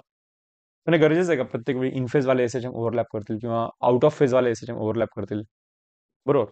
असंही होऊ शकतं ना की असे एस एच एम पण ओव्हरलॅप करू शकतात. की समजा हा जो आहे okay let say for example हा वरती घेऊन जाण्याची इच्छा ठेवतोय आणि सध्या त्यांनी त्याला एक्स्ट्रीम पोझिशनवरती घेऊन गेलेला आहे. आणि हा जो आहे ना यांनी याला इथेच घेऊन गेलेला आहे फक्त. म्हणजे यांनी एक्स्ट्रीम पोझिशन रीच केली बट यांनी नाही केली. सो इन फेज नाही येत डिफरन्स आहे दोघांमध्ये फेजचा आता टू सेंटीमीटर हा one centimetre overall three centimetre जाईल तो वरती. ठीक आहे? हा ओव्हरऑल थ्री सेंटीमीटर वरती जाईल. पण याच्यानंतर हा खाली येईल बट हा आणखीन वरतीच जाईल ना. इन फेज नाही येत आउट ऑफ फेज पण नाही मग अशा केसमध्ये पण ऑसिलेशन होईल बट लाईक थोड्याशा वेगळ्या पद्धतीचं ऑसिलेशन होईल. त्याची अँप्लिट्यूड मॅथमॅटिकली कॅल्क्युलेट केली पाहिजे. मग त्यासाठीचा हा आर्टिकल आहे composition of S H M so statement असं आहे की resultant displacement vector sum of displacement due to individual S H Ms so resultant displacement पहिला एस एच जो इक्वेशन आहे तो A one sine omega T plus phi one हा first S H equation आहे. Okay आणि हा second S जो equation आहे तो आहे A two sine okay omega two omega T plus phi two हा आहे second S equation so X is equal to so resultant displacement या दोन्ही डिस्प्लेसमेंटचा डायरेक्टली ॲडिशन करायचा. तर एक्स इज़ इक्वल टू ए वन मी याला करतो mathematics like sine A plus बीचा फॉर्म्युला यूज़ करून. Sine of A cos of B plus cos of A sine of B then plus A टूला A two again sine A plus B is uh, A cos B plus cos A A B okay so sine A plus B sine A plus B चे formulas वापरलेले हा पहिला S एमचा equation आहे दोघांचा omega same म्हणजे दोघांचा time period same पहिल्याचा amplitude A one second amplitude A two पहिल्याचा phase initial phase phi one initial phase phi two कोण कोणता एस कोणत्या पॉईंटवरून सुरू झाला आहे किंवा जिथे ओव्हरलॅप झाले आहेत तिथे त्यांचा स्टेट ऑफ व्हायब्रेशन काय आहे? बरोबर. सो तो आपल्याला माहिती नाहीये. म्हणून तो फाय वन आणि फाय टू अलग अलग डिफरंट आहेत. सेम असण्याची गरज नाहीये. तर आता याच्यामध्ये हे ओमेगा टी इथे आणि साईन ओमेगा टी इथे. तर साईन ओमेगा टी दोघांमधनं जर का मी कॉमन केला तर साईन ओमेगा टी कॉमन केला तर A one cos A one cos phi one A one cos phi one plus sine omega T common केला तर A two cos phi two A two cos phi two plus cos omega T जर का इथून common कराल या टर्ममधून आणि इथे cos omega T common करू आपण समजा कॉस ओमेगा टी कॉमन केला आपण इथे इथे A one sine phi one A one sine phi one plus A two sine phi two A two sine phi two असा बनेल। So X is equal to आता हा जो टर्म आहे त्याला मी इथे लिहितो साईन ओमेगा टी या टर्मला आपण ॲज्युम करतो आर कॉस डेल्टा काय ॲज्युम करतो आपण? R cos delta plus cos omega टीला कॉस ओमेगा टी आणि या टर्मला आपण ॲज्युम करतो आर साईन डेल्टा त्याचं रिझन असं आहे की पहा ना sine A cos B plus cos A sine B अशा फॉर्मॅटमध्ये आणण्याची इच्छा आहे. म्हणजे काय की पहिले तर हे दोन एस एच एम आहेत. दोन एस एच एमचा क्लब करून एक एस एच एममध्ये कन्वर्ट करायचं. तर पहिले तर आपण या इक्वेशनला असं एक्सपांड केला. मोठा झाला हा इक्वेशन आता आपली इच्छा आहे याला छोटा करण्याची. बरोबर? छोटा करण्याची इच्छा इच्छा आहे. सो आपण sine omega cos omega common करून असा फॉर्मॅट आणला. मग वाटायला लागलं की यार हे साईन आहे cos B plus cos A sine B अशा फॉर्मॅटमध्ये बनू शकतो. म्हणून आपण याला आर कॉस डेल्टा बोलतो. आर का आणायला लागतो? मॅथमॅटिकली विचार कराल तर कॉस डेल्टाची व्हॅल्यू ही झिरो टू वन असते. पण याची व्हॅल्यू गरजेची ना? की झिरो टू वन मध्ये असेल वन पेक्षा जास्त येऊ शकते म्हणून त्याची काळजी घेण्यासाठी आरने मल्टिप्लाय एक्स्ट्रा सो याला बोललेला आहे आर कॉस डेल्टा आणि याला बोललेला R sine delta so that sine A cos B plus cos A sine B अशा फॉर्मॅटमध्ये तो जातो. आता मी असं लिहू शकतो का? आर कॉमन करतो आहोत तर मी इथे. आणि ब्रॅकेटमध्ये sine omega T cos delta plus cos omega T sine delta okay? So, x resultant shm is given by r. sin A cos B plus cos a sin b is sin of a plus b. So हा आहे resultant S H एमचा equation R आहे resultant amplitude आणखी जास्त mathematics नाही करत मी इथे काही रिझल्ट लिहितोय. आर इज़ इक्वल टू हे आरची व्हॅल्यू कशी शोधायची सांगतो. याचा स्क्वेअर करा. R square cos delta R square cos square delta याचा स्क्वेअर करा. R square sine square delta दोघांमधून R square common करा तर cos plus sine square one बनतो. ओके आणि याचा स्क्वेअर केल्यानंतर याचा स्क्वेअर याचा स्क्वेअर म्हणजे याचा स्क्वेअर राईट हँड साईडमध्ये कराल ॲड कराल. तुम्हाला आरचा असा फॉर्म्युला मिळतो. Resultant amplitude is given by okay A one square plus A two square plus two A one A two okay cos of phi one minus of phi two हा बनतो amplitude of resultant S M राहिला प्रश्न डेल्टाचा. Delta म्हणजे initial phase of resultant S M delta म्हणजे काय? Initial phase of resultant S H M so डेल्टाचा value बनतो. तर पहा ना R sine delta by R cos delta जर का कराल R sine delta by R cos delta म्हणजे R R cancel tan delta म्हणजे डेल्टा म्हणजे tan inverse R sine delta म्हणजे काय होता? हा होता A one sine phi one plus A two sine phi two whole divide by R cos delta हा होता. म्हणजे A one cos phi one plus A two cos phi two so हा बनतो tan डेल्टाचा value inverse of A one sine phi one plus A two sine phi two divide by A one cos phi one plus A two cos phi two so लक्षात ठेवायचं तुम्हाला हे असं की पहिला S H M दुसरा S H M यांचा resultant S H M हा असा बनतो simple X equal to R sine omega T plus delta X equal to R sine omega T plus delta हा बनला resultant S H M R म्हणजे resultant amplitude जी की अशी आहे आणि डेल्टा आहे initial phase of resultant S H M A one sine phi one A two sine phi two A cos phi one A two cos two एक मी करून दाखवतो एक्झाम्पलमध्ये ओके या गोष्टी आय होप पाठ असेल तुम्हाला पाठ करायच्या त्या सर्व। समजा एक एस एच एम आहे जसं इक्वेशन आहे four four sine okay four sine omega T plus let say for example forty five degree और पाय बाय फोर करतो चलो। प्लस पाय बाय फोर दुसरा एस एच एम आहे X equal to amplitude three करतो चलो।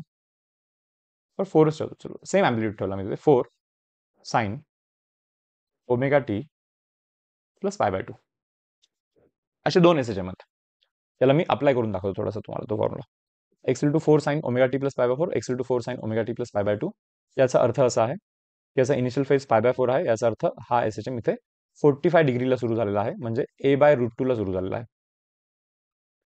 टाइमच्या जागी zero टाकाल ना तर sine forty five one by root two म्हणजे A divide by root two इथे सुरू झाला हा एस एच एम आणि याच्यानंतर इकडे जाणार आहे तो. आणि हा जो एस एच एम आहे तो टाइमला झिरो टाकाल तर साईन नाईन्टी वन बनतो म्हणजे फोर बनतो म्हणजे dis displacement is to amplitude बनतो मग तो तो इथे सुरू झालेला आहे ninety degree initial phase okay एक एस एच एम इथे सुरू झाला एक एस एच एम इथे सुरू झाला.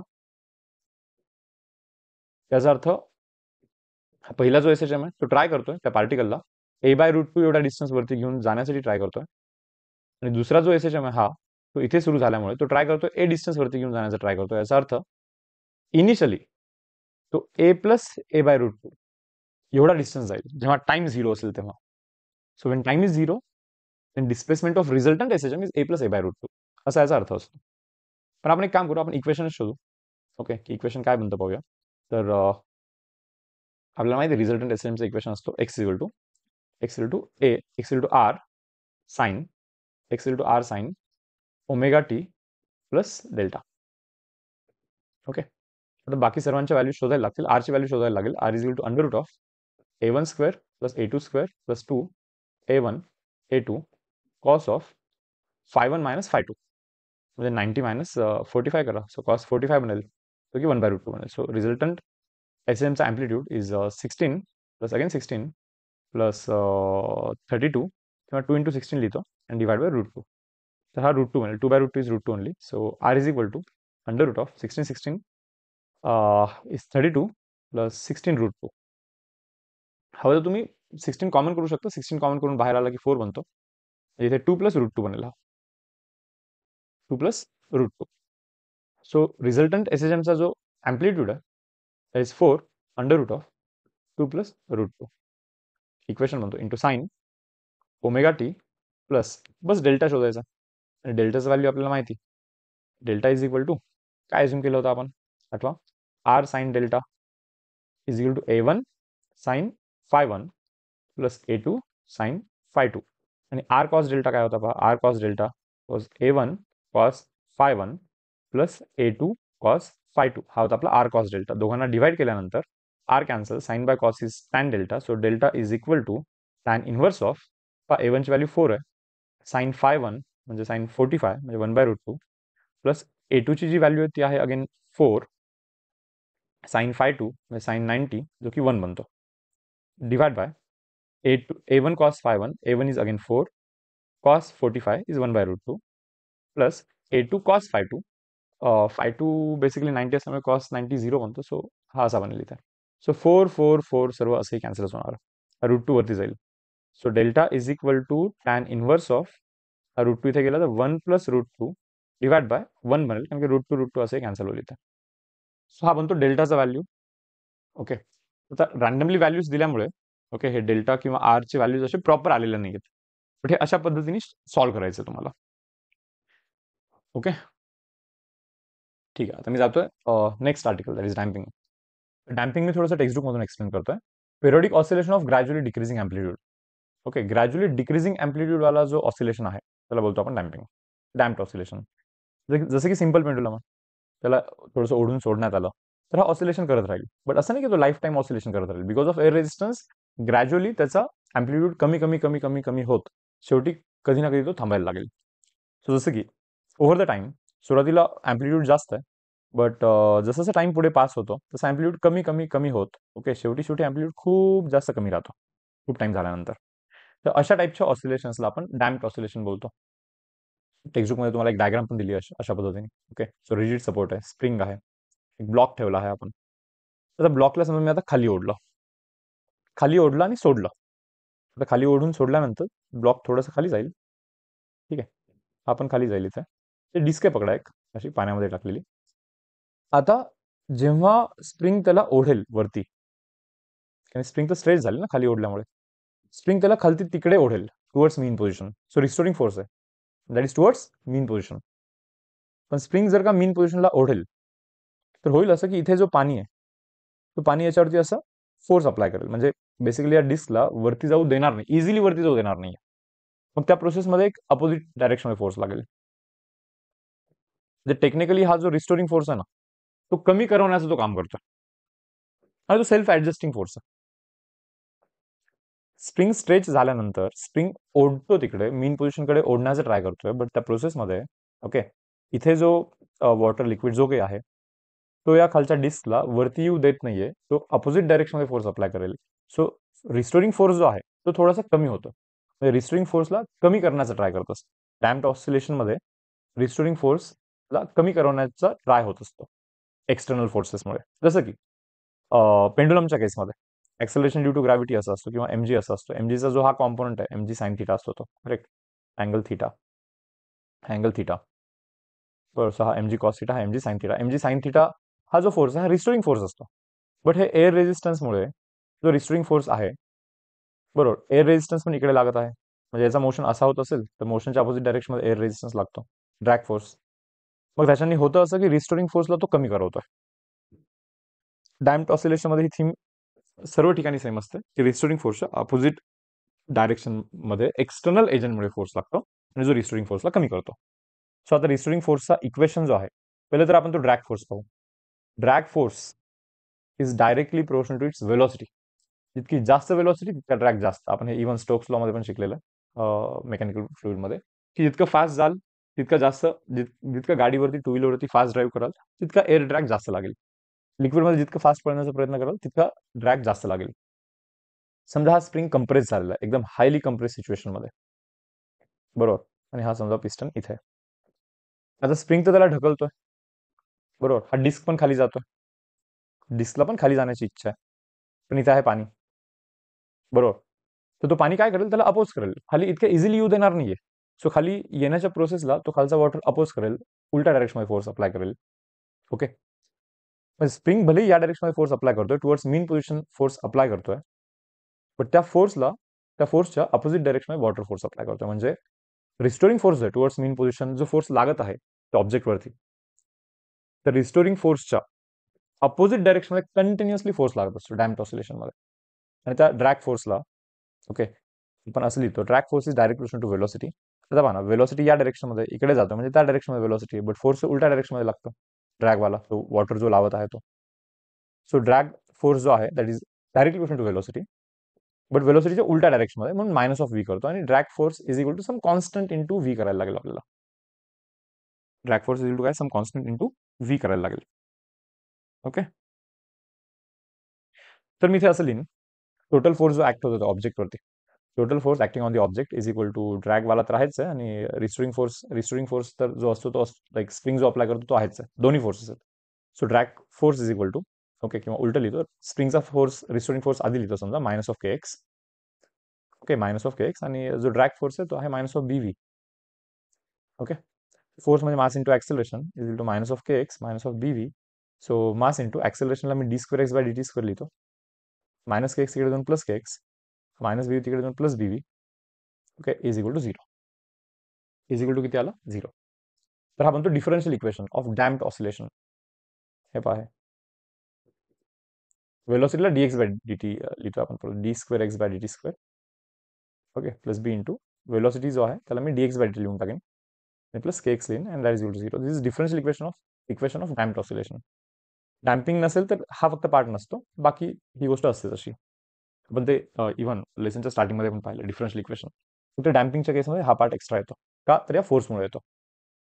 हा वाला इक्वेशन तुम्हाला लक्षात राहायला पाहिजे डॅम्पिंगच्या केसमध्ये आणि याच्यानंतर डायरेक्टली जो डिस्प्लेसमेंटचा इक्वेशन आहे त्या इक्वेशनला सॉल्व्ह करून. आता हा बेसिकली डेरिवेशनचा पार्ट नाही यायचा डायरेक्टली फॉर्म्युला दिला आहे. सो डायरेक्टली हा फॉर्म्युला तुम्हाला लक्षात ठेवायचा आहे हा की हा डिफरन्शियल इक्वेशन आहे हा डिफरन्शियल इक्वेशन सॉल्व्ह करून डिस्प्लेसमेंटचा equation is given by this equation काय आहे पहा डिस्प्लेसमेंटचा equation A E raise to power minus of B T divide by two M into cos of omega T plus phi तर amplitude ही आहे याची so this resultant S H M damped ऑसिलेशनचा displacement is given by this equation हा amplitude आहे overall हा जो हा जो दिसतो तुम्हाला हा अँप्लिट्यूड आहे ओके आणि या केसमध्ये टाइम जसा जसा वाढवीन तसं जसं पॉवर वाढेल बट निगेटिव्हमध्ये होईल ना तो. म्हणजे ओव्हरऑल गोष्ट कमी होईल. म्हणजे e इरेस टू समजा मायनस वन आहे त्याच्यानंतर इरेस टू मायनस टू होईल. जसं जसं टाइम वाढवीन तशी तशी ही गोष्ट वाढेल. इरेस टू मायनस थ्री होईल मग नंतर E raise to minus four होईल. E raise to minus one म्हणजे one by E E raise to minus two म्हणजे one by E square one by E cube one by E raise to four ही गोष्ट तरी ठीकठाक आहे. ही खूप कमी आहे. ही त्याच्यापेक्षाही कमी आहे. ही याच्यापेक्षाही कमी आहे. नंतर नंतर अँप्लिट्यूड ओव्हरऑल जो अँप्लिट्यूड आहे तो ड्रास्टिकली कमी कमी व्हायला लागतो. ओके अँप्लिट्यूड काय व्हायला लागतो? कमी कमी बेसिकली तो व्हायला लागतो. म्हणजे डॅम्पिंग व्हायला लागतं इन शॉर्ट सो हा इक्वेशन लक्षात ठेवायचं. ओके देन यापुढे. ओमेगा बरोबर. तो जो नवीन ओमेगा आहे, हे समजा, आपला जो सिम्पल पेंडुलम आहे तो ऑसिलेट करतोय. व्हॅक्यूममध्ये ऑसिलेट करतोय, त्याचा टाइम पिरियड असतो two pi hundred of L वायचे जो की फिक्स टाइम पिरियड पण समजा इथे एअर असेल त्यामध्ये जर का समजा एअर असेल तर त्याचा टाइम पिरियड जो आहे तो चेंज होतो. म्हणजे because of air resistance time period change होतो. म्हणजे व्हॅक्युमच्या ऐवजी एअर टाकली तर टाइम पिरियड पूर्णपणे बदलतो. बरं त्याचा डॅम्पिंग जरी होत असेल एअरमध्ये तर त्याचा टाइम पिरियड नाही बदल म्हणजे एअरमध्ये आल्यानंतर ऑसिलेशन करायला सुरू केला मग भले त्याची अँप्लिट्यूड कमी झाली बट अँप्लिट्यूड कमी जरी झाली तरी त्याचा टाइम पिरियड तेवढाच राहतो. एअरमध्ये जो काही असेल तो टाइम पिरियड तेवढाच राहणार. ओमेगा डॅश जो आहे ओमेगा डॅशचा फॉर्म्युला हा लक्षात ठेवायचा तुम्हाला. किंवा डायरेक्टली टाइम पिरियडचा फॉर्म्युला मला वाटतं लक्षात ठेवतो बरं पडेल. म्हणजे ओमेगा तिथून निघूनच जातो असे okay so time period is equal to two pi by omega असतो. Two pi by omega so omega is K by M normally K by M असतो ओमेगा बट लाईक डॅम्पिंगच्या केसमध्ये B divide by two M whole square करायचा. सो याचा अर्थ ओमेगाची value कमी होत आहे. म्हणजे टाइम पिरियड वाढत आहे. म्हणजे एअरमध्ये उलट तो हळू ऑसिलेशन करेल. जास्त टाइम घेईल ऑसिलेशन करण्यासाठी. कंपेअर टू व्हॅक्युम पण हे कॅल्क्युलेशन करून जो काही आन्सर येईल समजा डॅम्पिंग नसला असता आणि हे कॅल्क्युलेशन करून पेंडुलम जो आहे तो व्हॅक्यूममध्ये फोर सेकंडचा टाइम पिरियड करत असेल बरोबर? मग त्याचे अँप्लिट्यूड तुम्ही कितीही करा बरोबर? पेंडुलमचे अँप्लिट्यूड वाढवाल जरी किंवा कमी जरी कराल किंवा खूप जरी जास्त ठेवाल तरी त्याचा टाइम पिरियड हा फोर सेकंडच असणार आहे व्हॅक्यूममध्ये पण एअरमध्ये जसं डॅम्पिंग आला तसं हा पार्ट येईल. मग हे सर्व कॅल्क्युलेशन करून मे बी सिक्स सेकंड येत असेल. तर एअरमध्ये त्याचा टाइम पिरियड सिक्स सेकंड्स आहे. मग त्याची अँप्लिट्यूड किती? कमी जास्ती काही जरी ठेवली तुम्ही तरी त्याचा टाइम पिरियड हा सिक्स सेकंड्स असेल. एअरमधला टाइम पिरियड पण फिक्स आहे व्हॅक्यूममधला टाइम पिरियड पण फिक्स आहे बट एअरमधला टाइम पिरियड हा व्हॅक्यूमच्या टाइम पिरियडच्या पेक्षा जास्त असतो. Okay then next one is free oscillation and force oscillation okay शॉर्टमध्ये सांगतो आणि uh, रेझनन्स तर लेट्स से फॉर एक्झाम्पल एक uh, प्लॅटफॉर्म आहे कॅन्टिलिव्हर स्विमिंग पूलमध्ये नाही का लाईक uh, समजा इथे पाणी आहे. एक पर्सन इथे जम्प करतो इथून. जम्प करण्यापूर्वी तो पर्सन थोड्याशा बेसिकली इथे जम्प लाईक त्या प्लॅटफॉर्मवरती एक छोटे छोटे जम्प करतोय. सो दॅट हा जो प्लॅटफॉर्म आहे, हा प्लॅटफॉर्म असा व्हायब्रेट व्हायला लागतो. थोडासा खाली येतो. बरोबर? थोडंसं वरती चालला जातो. तो प्लॅटफॉर्म असा व्हायब्रेट व्हायला लागतो. बरं तो व्हायब्रेट जास्त होणार की कमी होणार, हे यावरती डिपेंड करेल की प्लॅटफॉर्मची काय इच्छा आहे? काय फ्रिक्वेन्सीनी व्हायब्रेट होण्याची? आणि तो पर्सन काय फ्रिक्वेन्सीनी बेसिकली फोर्स अप्लाय करत आहे? दोन मिनिटासाठी असं समजा की तो पर्सन काढून टाकला. त्या प्लॅटफॉर्मला मी लाईक बेसिकली त्या प्लॅटफॉर्मला हाताने मी खाली ओढतोय, इथेपर्यंत ओढला आणि सोडून दिलं. आता पर्सन वगैरे कोणी नाही त्याच्यावरती. ओढलं आणि सोडून दिलं. तर प्लॅटफॉर्म इथे असा ऑसिलेट होत राहील. कंटिन्युअसली असा असा, इथे इथे असं ऑसिलेट होत राहील. काहीतरी फ्रिक्वेन्सीनी असं कंटिन्युअसली व्हायब्रेट होत राहील. आणि ती आहे त्याची नॅचरल फ्रिक्वेन्सी त्याची जेवढी इच्छा आहे, ज्या फ्रिक्वेन्सीने व्हायब्रेट होण्याची, त्या फ्रिक्वेन्सीने तो व्हायब्रेट होत राहील. And that is natural frequency of vibration त्याला बोलतो आपण नॅचरल फ्रिक्वेन्सी आणि समजा ती असेल एका सेकंडमध्ये समजा तो चार वेळेस व्हायब्रेट होत असेल. एका सेकंडमध्ये किती वेळेस व्हायब्रेट होतो? चार वेळेस. So natural frequency is four vibration per second okay आता समजा इथे एक पर्सन आहे. जो जम्प करणार आहे. आता पर्सननी पण एका सेकंडमध्ये चार वेळेस जम्प केले पाहिजे. त्या प्लॅटफॉर्मवरती एका सेकंडमध्ये किती वेळेस जम्प केला पाहिजे आणि चार वेळेस. जर का तो एका सेकंडमध्ये चार वेळेस तिथे जम्प करेल. जम्प आय होप तुम्ही इमॅजिन करत असाल सिंक्रोनाइज करायचं झालं. चार वेळेस जर जर का जम्प करेल तो मग त्या केसमध्ये याचा जो अँप्लिट्यूड आहे हा मॅक्सिमम होईल. त्याला रेझनन्स बोलतो आपण. पण जर का समजा तो एक वेळेस किंवा मी दोनच वेळेस जम्प करत असेल तर मग अशा केसमध्ये तो प्लॅटफॉर्म जो व्हायब्रेट होणार आहे तो एवढा जास्त अँप्लिट्यूडनी व्हायब्रेट नाही होणार. मे बी तो छोटा व्हायब्रेशन होईल. म्हणजे मे बी एक मिनिट. ठीक. सो अलग फ्रिक्वेन्सी जर का लावाल त्याचे जे व्हायब्रेशन एवढ्याला लिमिट असते लिमिट होतील. ओके एवढ्या अँप्लिट्यूडला लिमिट होतील. किंवा एवढ्या पाथ लेंथला लिमिट होतील. जर का वेगळी फ्रिक्वेन्सी लावाल. ओके वेगळ्या फ्रिक्वेन्सीने तुम्ही तिथे जम्प करण्याचा ट्राय करतात नाही का? एक दोन तीन चार वेळेस असं जम्प करून. असं नाही की एकदाच जम्प करून डायरेक्टली उडी मारायचं. उडी मारायचंच नाही ऍक्च्युली आपल्याला इथे. बस इथे जम्प करत बसायचं. बरोबर. तो गेम खेळतो आपण आता इथे. सो तुम्ही हे सोडून द्या की हा जम्प करेल इथे. जम्प म्हणजे मी इथेच जम्प करत बसेल तो. वरती खालती. ओके सो सो हा आहे फ्री व्हायब्रेशन आणि फोर्स व्हायब्रेशन आणि resonance okay so theoretical content इथे आपण संपवलेला आहे ऑसिलेशनचा तर काही न्यूमरिकल्स होतील आता इथून पुढे. Particle performs S H M with amplitude A एक पार्टिकल आहे जो ए अँप्लिट्यूडनी एस एच एम करतो. It speed is tripled at instant when it is at a distance two A by three from the mean म्हणजे जेव्हा तो two A by three two A divide by three एवढ्या डिस्टन्सवरती आहे, तेव्हा त्याची speed triple करण्यात आली. ऑसिलेशन करते वेळी या पोझिशनवरती पार्टिकल स्पीड ट्रिपल करण्यात एनर्जी नाईन टाइम्स म्हणजे अचानक एनर्जी दिली तुम्ही सो डेफिनेटली आता तो थोडासा ऑसिलेशन करेल. ओके त्याचा अँप्लिट्यूड हा आता थोडासा मोठा झालेला असेल. मोठा अँप्लिट्यूडचा तो एस एच एम करायला लागेल. मी इथे असं टोटल एनर्जी म्हणजे potential energy half M omega square X square X म्हणजे टू ए बाय थ्री आहे two A divide by three whole square plus तर ही potential energy plus kinetic energy is half half M omega square A square minus of X square X square म्हणजे परत याचा four A square divide by nine तर velocity triple केल्यामुळे kinetic energy आता nine times झालेली आहे. Into nine करायला लागेल. तर या पर्टिक्युलर इन्स्टंटवरती ही पोटेन्शियल एनर्जी आणि कायनेटिक एनर्जी नवीन kinetic energy okay existing kinetic energy ही होती. Half M omega square A square minus X square पण याला नाईननी मी मल्टिप्लाय करेन. तर ही झालेली आहे टोटल एनर्जी पण तुम्हाला माहिती टोटल एनर्जी नवीन S H M एमची total energy half M omega square R square करायला लागेल. Half M omega square R square so यामध्ये half M omega square common कराल. Half M omega square common हा काय बनेल पहा. Four A square divide by nine plus nine आतमध्ये जाऊन मल्टिप्लाय होईल. Nine A square okay minus of nine into nine cancel होईल आणि मायनस फोर ए स्क्वेअर बनेल.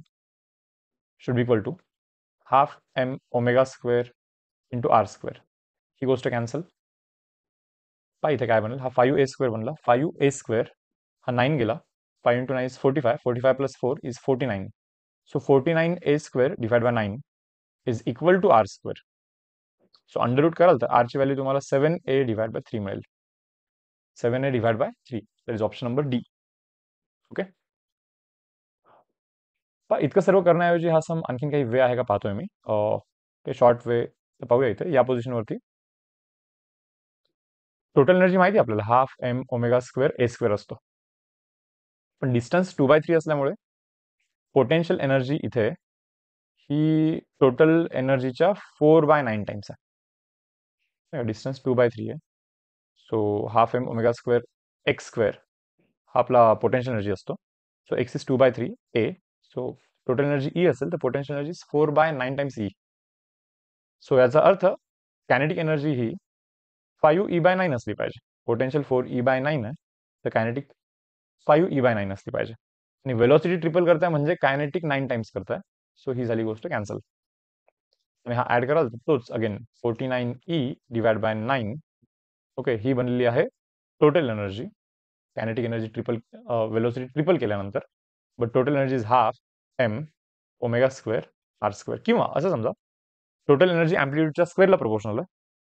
आणि total energy forty nine by nine बनली आहे याचा अर्थ seven by three times amplitude बनला आहे सो नवीन amplitude should be seven A divide by three तेच केलं मी कन्व्हेन्शनली जसं आपण केलं होतं ओके बट फक्त काही स्टेप्स इलिमिनेट केलेल्या आहेत ओके नेक्स्ट तर particle performs S H M its potential energy is U one and U two at a displacement X one and X two particle S H M करतोय. Mean position पासून जेव्हा particle x one डिस्टन्सवरती आहे, तेव्हा त्याची potential energy U one जेव्हा x two डिस्टन्सवरती आहे, तेव्हा पोटेन्शियल एनर्जी इथे जी आहे, ती आहे यू टू तर मी इथे एक्सप्रेशन लिहितो U one is equal to half K X one square U two is equal to half K X two square आता विचारतात काय? अरे displacement X one plus X two potential energy is U म्हणे आपल्याला माहिती potential energy half K X square पण displacement तर X one plus X two बोलतात. सो जेव्हा displacement X one plus X two आहे, तेव्हा potential energy is half K X one plus X two whole square so potential energy should be equal to half K X one bracket X one करतो मी. X one square X one X two so Naveen potential energy is equal to half K X one square plus half K X two square आतमध्ये multiply करतो मी याला इथे. Okay plus remaining term हा, याच्याशी multiply होईल. तर काय बनेल पहा? Plus half okay half K half K two X one X two असा बनलेला आहे? सो नवीन potential energy is equal to पहिली पोटेन्शियल एनर्जी एक्स वन वरती वेळची potential energy plus X two वरती असते पोटेन्शियल एनर्जी प्लस हा जो टू आहे, मी या टूला थोडंसं बाहेर घेतो. याला मी लिहू शकतो का? पहा बरं. Half half K okay X one X two हा जो आहे त्याला थोडं, थोडा बहुत मॉडिफाय करायला लागेल आपल्याला. Half K X one X two La me U is equal to U one plus U two plus two times okay half केला रूट के ली तो रूट के इंटू एक्स वनला रूट एक्स वनचा स्क्वेअर लिहितो ओके आणि याला पण वन बाय रूट टू लिहितो. Into again one by root two again root K again root X टूचा square लिहितो ठीक आहे, आता पहा केलेलं आपण. Okay root two into root two हा तर टूच बनणार आहे. रूट के इंटू रूट के हा केज बनणार आहे. एक्स वनच्या स्क्वेअरचा अंडर रूट म्हणजे एक्स वनच बनणार आहे. एक्स टू टूच्या स्क्वेअरचा अंडर रूट एक्स बनणार आहे. पण तुम्ही नोटीस कराल, तर तिघे अंडर रूटमध्ये असल्यामुळे त्याला कॉमन अंडर रूट जर का हा हाफ़ के एक्स वन स्क्वेअर बनला तो अंडर रूट यू वन बनला so U is equal to U one plus U two plus two under root U one बनला. हे बघा, तिघांचा कॉमन अंडर रूट कराल तर half K X one square म्हणजे यू वन बनेल. हे पण half K X two square म्हणजे यू टू बनेल. सो अगेन तो under root of U two बनेल. So U is equal to याला मी असं लिहू शकतो under root of U one plus under root of U two चा होल स्क्वेअर पण A plus B whole square is A square म्हणजे हा बनेल. बी स्क्वेअर म्हणजे हा बनेल. Plus two A B plus two A B so U is equal to U one plus U टूचा square आणि हा अंडर रूट कराल दोन्ही साईडला तर under root U is two under U one plus under U two option number C दिसतोय पा okay option number C under root U is two under root U one plus under root U two next some mass आहे स्प्रिंगच्या आर्टिकलमध्ये मी सांगितलं होतं की हे दोन्ही springs आहेत. कारण की हा मास जर का इकडे आला, तर एक स्प्रिंग एक्स डिस्टन्सने कंप्रेस होईल, तर दुसरी स्प्रिंग एक्स डिस्टन्सने स्ट्रेच होईल. जितका हा कंप्रेस होईल, तितका हा स्ट्रेच होईल. जसं पॅरलमध्ये असतं. दोघांचं एक्सटेन्शन सेम असतं. दोघांना मी ओढीन. तर हा जर का एक्स डिस्टन्सनी वाढेल हा जर का एक्स डिस्टन्सनी वाढेल तर हा पण बेसिकली एक्स डिस्टन्सनीच वाढत असतो. दोघांचा एक्सटेन्शन हा सेम बनत असतो. सो इथे पण दोघांचा एक्सटेन्शन सेम आहे.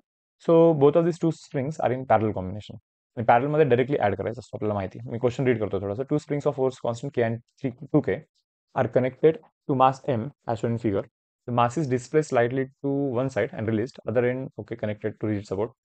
ठीक आहे फ्रिक्वेन्सी विचारलेलं आहे ओके पहिले आपण नेट के काढू पॅरल असल्यामुळे K plus two K that is two three K time period पिरियडचा formula माहिती आपल्याला? Two pi under root M by K so time पिरियडचा उलटा केलं तर फ्रिक्वेन्सी येत so frequency is equal to one divide by two pi one divide by two pi under root of K divide by M फक्त केच्या जागी three के टाका.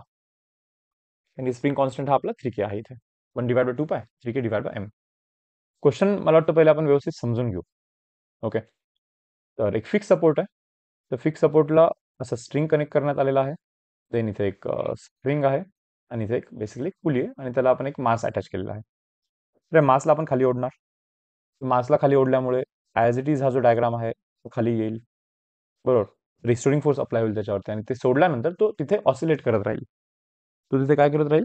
Oscillate करत राहील. टाइम पिरियड शोधण्याचा जो प्रोसेस असतो ऑसिलेशनमध्ये तर त्यामध्ये आपण असं शोधत असतो की रिस्टोरिंग फोर्स पहिले शोधतो आपण. Restoring force is equal to K X असेल, तर फोर्सला मास इंटू ॲक्सेलरेशन बोलतो. मग acceleration is equal to K by M into X करतो. So acceleration is equal to omega square X असं बोलतो आणि omega square is equal to K by M बोलतो. So ओमेगाची व्हॅल्यू शोधतो under root of K by M and then two pi by omega करून आपण time period शोधत असतो. सिम्पल पेंडुलममध्ये पण तुम्ही विचार कराल तर रिस्टोरिंग फोर्स हा एम जी साईन थिटा होता. मग एम जी साईन थिटाला आपण एक्स बाय एल केला. So restoring force is to omega square X म्हणजे याला आपण ओमेगा स्क्वेअर करतो. रिस्टोरिंग फोर्समध्ये किंवा रिस्टोरिंग फोर्सच्या फॉर्म्युलामध्ये समथिंग इंटू एक्स येतो. मग त्या एक्सला इग्नोर करतो. मग तो जो समथिंग असतो त्याला आपण ओमेगा स्क्वेअर म्हणतो. आणि मग ओमेगा शोधतो आणि टाइम पिरियड शोधतो. सो नॉर्मल प्रोसिजर हा आहे की त्याला डिस्प्लेस करा आणि बघा पहिले की रिस्टोरिंग फोर्स किती ऍक्ट होतो त्याला डिस्प्लेस करा रिस्टोरिंग फोर्स किती ऍक्ट होतो हे पहा. तर याला एक्स डिस्टन्सने डिस्प्लेस केल्यानंतर स्प्रिंग एक्सनीच वाढणार की टू एक्स एक्सनी वाढणार की थ्री एक्सनी वाढणार? बरोबर? तर हे थोडंसं व्यवस्थित विचार करून तुम्हाला एक हे सॉल्व्ह करायला लागेल. चलो, मी दोन मिनिटासाठी असं समजतो हा स्प्रिंग आहे आपला इथे. हा इनिशियल डायग्राम आहे. या साईडला एट मीटर लेंथ आहे. Let say for example spring हा सिक्स मीटर आहे. ओके आणि सिक्स मीटर नंतर एक्स्ट्रावाला जो लेंथ आहे तो टू मीटर आहे. बरोबर? आणि ही जी काही लेंथ आहे, ती जी असेल, ती असेल. या लेंथचा खूप जास्त सिग्निफिकन्स नाही इथे. तर इनिशियली डायग्राम हा असा आहे. टोटल वायरचा लेंथ एट मीटर तर या साईडला एट मीटर पाहिजे, पण स्प्रिंग आहे सिक्स मीटर आणि एक्स्ट्रावाला वायर जो आहे तो वन मीटर ओके आता, मी याला थोडंसं वाढवतो. ओढतो खालती. एक्स डिस्टन्स नाही ओढतो. तर स्प्रिंग आहे. वायर आहे. जो आपला पुली आहे. ठीक आणि इथे जो मास आहे आपला तो एम मास तर आता मी काय करतोय पहा. मी एक्स डिस्टन्सने स्प्रिंग सॉरी एक्स डिस्टन्सने खाली ओढलेला आहे. ओके हा सेंटर आणि हा सेंटर त्या पुलीला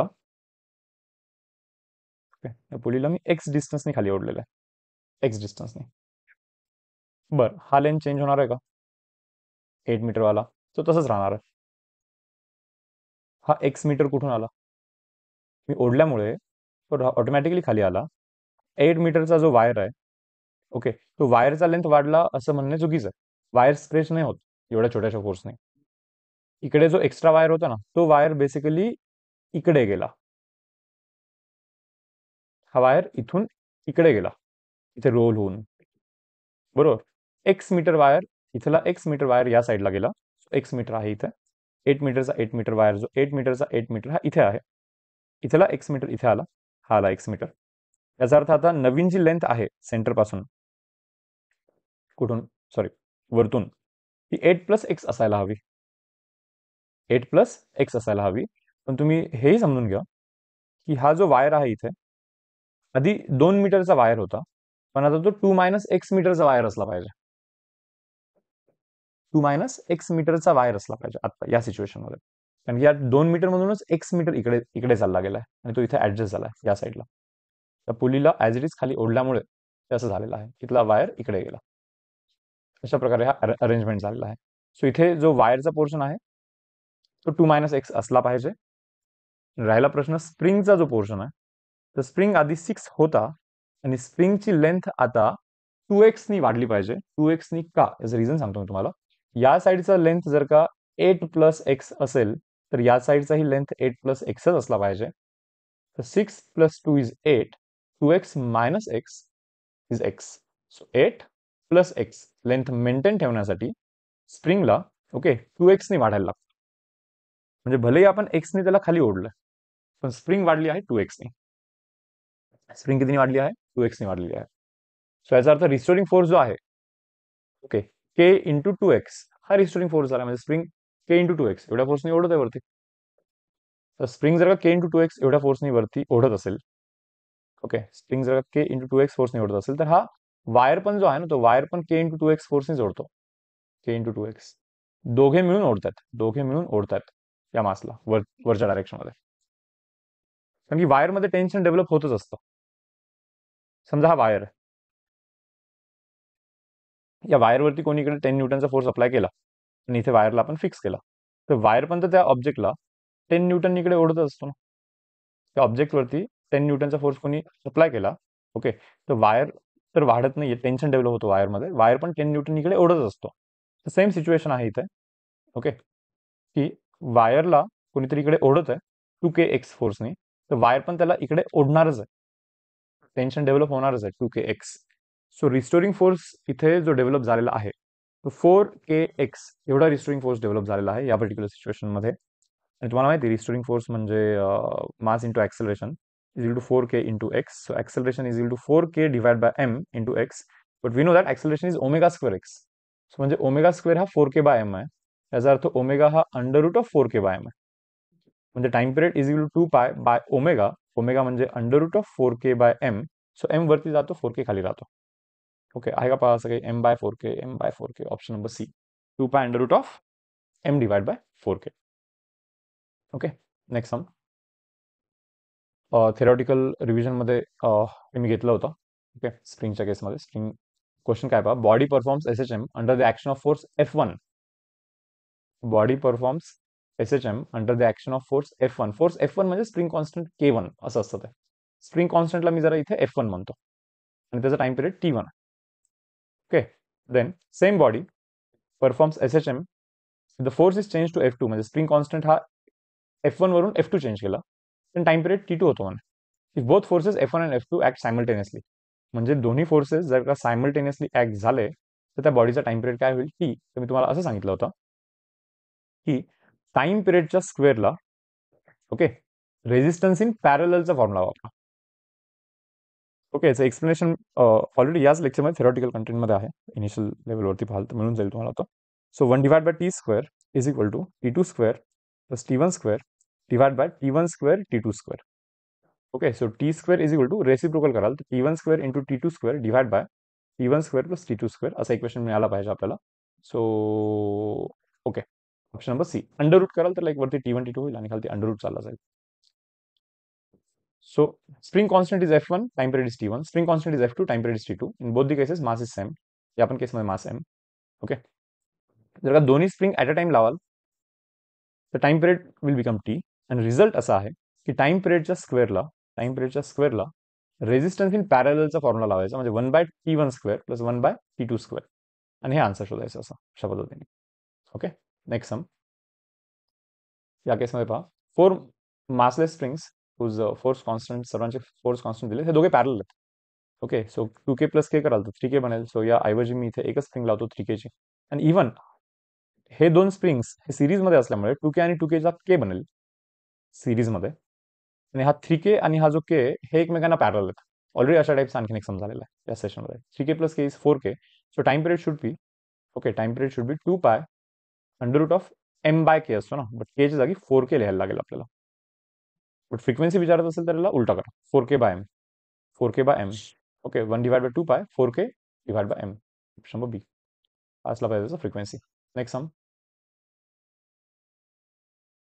composition of S H M related numerical हा फेस डिफरन्स विचारला आहे of this particular wave and this particular wave so पहिला जो एस एच एम आहे तो आहे one divide by two sine of omega T okay plus root three divide by two cos of omega T आहे first S H M हा एक S H M आहे हा एक एस एच एम आहे दोन एस एच एमचा club करून हा एक नवीन एस एच एम आहे ओके देन हा आहे sine omega T plus cos omega T हा एक एस एच एम आहे हा एक एस एच एम आहे या दोन एस एच एमचा क्लब करून हा रिझल्टंट एस एच एम आहे आणि हा जो रिझल्टंट एस एच एम आणि हा जो रिझल्टंट एस एच एम आहे यांचा आपल्याला फेस डिफरन्स विचारलेला आहे मी याला थोडंसं असं लिहितो sine omega T okay one by टूला मी कॉस सिक्स्टी डिग्री लिहितो cos of sixty degree plus cos omega T root three by टूला मी साइन सिक्स्टी डिग्री लिहितो ओके सो काय बनेल हा?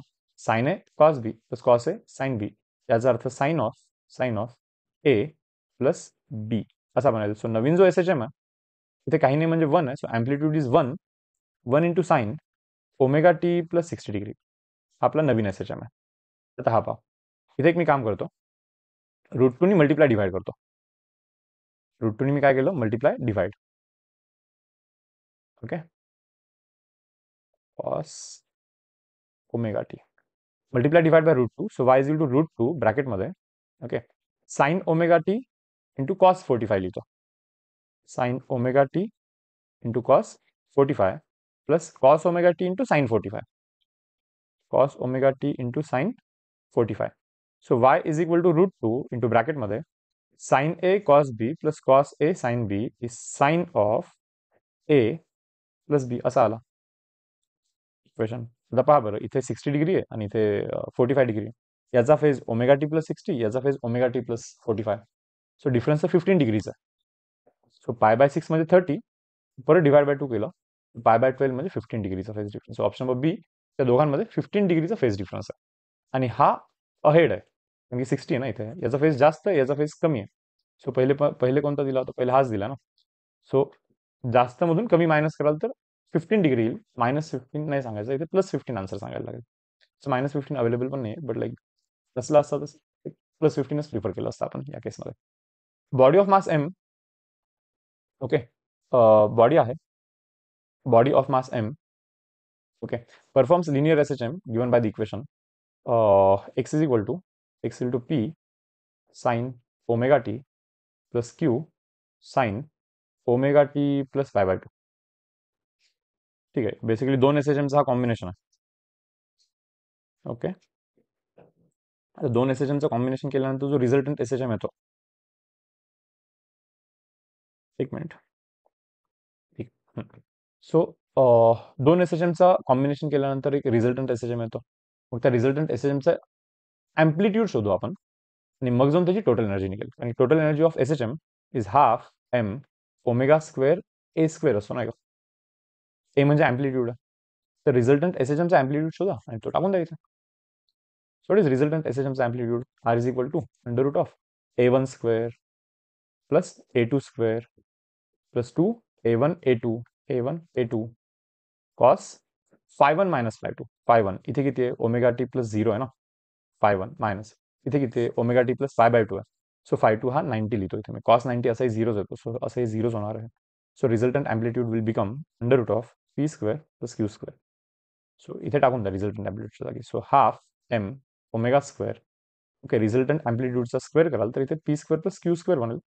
पाहायचा कोणता ऑप्शन आहे? ऑप्शन नंबर सी दिसतो मला. Half M omega square P square plus Q square कोणता आर्टिकल वापरला आपण? की एका S एमचं equation A one sine omega T plus phi one असेल. सेकंड एस एच एमचं इक्वेशन हा A two sine omega T plus phi two असेल तर resultant amplitude is given by under root of A one square plus A two square plus two A one A two cos phi one minus of phi two हा आहे resultant S H एमचा अँप्लिट्यूडचं equation अँप्लिट्यूडचा formula त्याच्याने आपण हा formula त्याच्याने आपण बेसिकली रिझल्टंट अँप्लिट्यूड शोधला जो इथे टाकला स्क्वेअर केला असा आला. ऑप्शन नंबर सी इथे मॅच होतो. ओके सो ही आहे total energy आर्टिकलची okay next some simple spring has length L एक स्प्रिंग है ज्याची लेंथ एल है।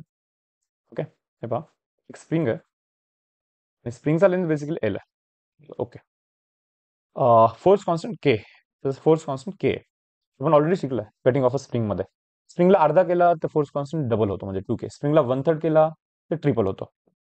त्यांचं असं it is cut into two springs of length L one and L two such that अशी एक कंडिशन आहे. एल वन आणि एल टूची अशी एक कंडिशन आहे. Force constant of spring of length L one is equal to what ठीक आहे. त्याला आपण दोन पार्टमध्ये कट केलेला आहे. किती पार्टमध्ये कट केला? दोन पार्टमध्ये तर एक जो पार्ट आहे तो एल वन लेंथचा आहे आणि जो दुसरा पार्ट आहे ओके तर तो आहे एल टू पार्टचा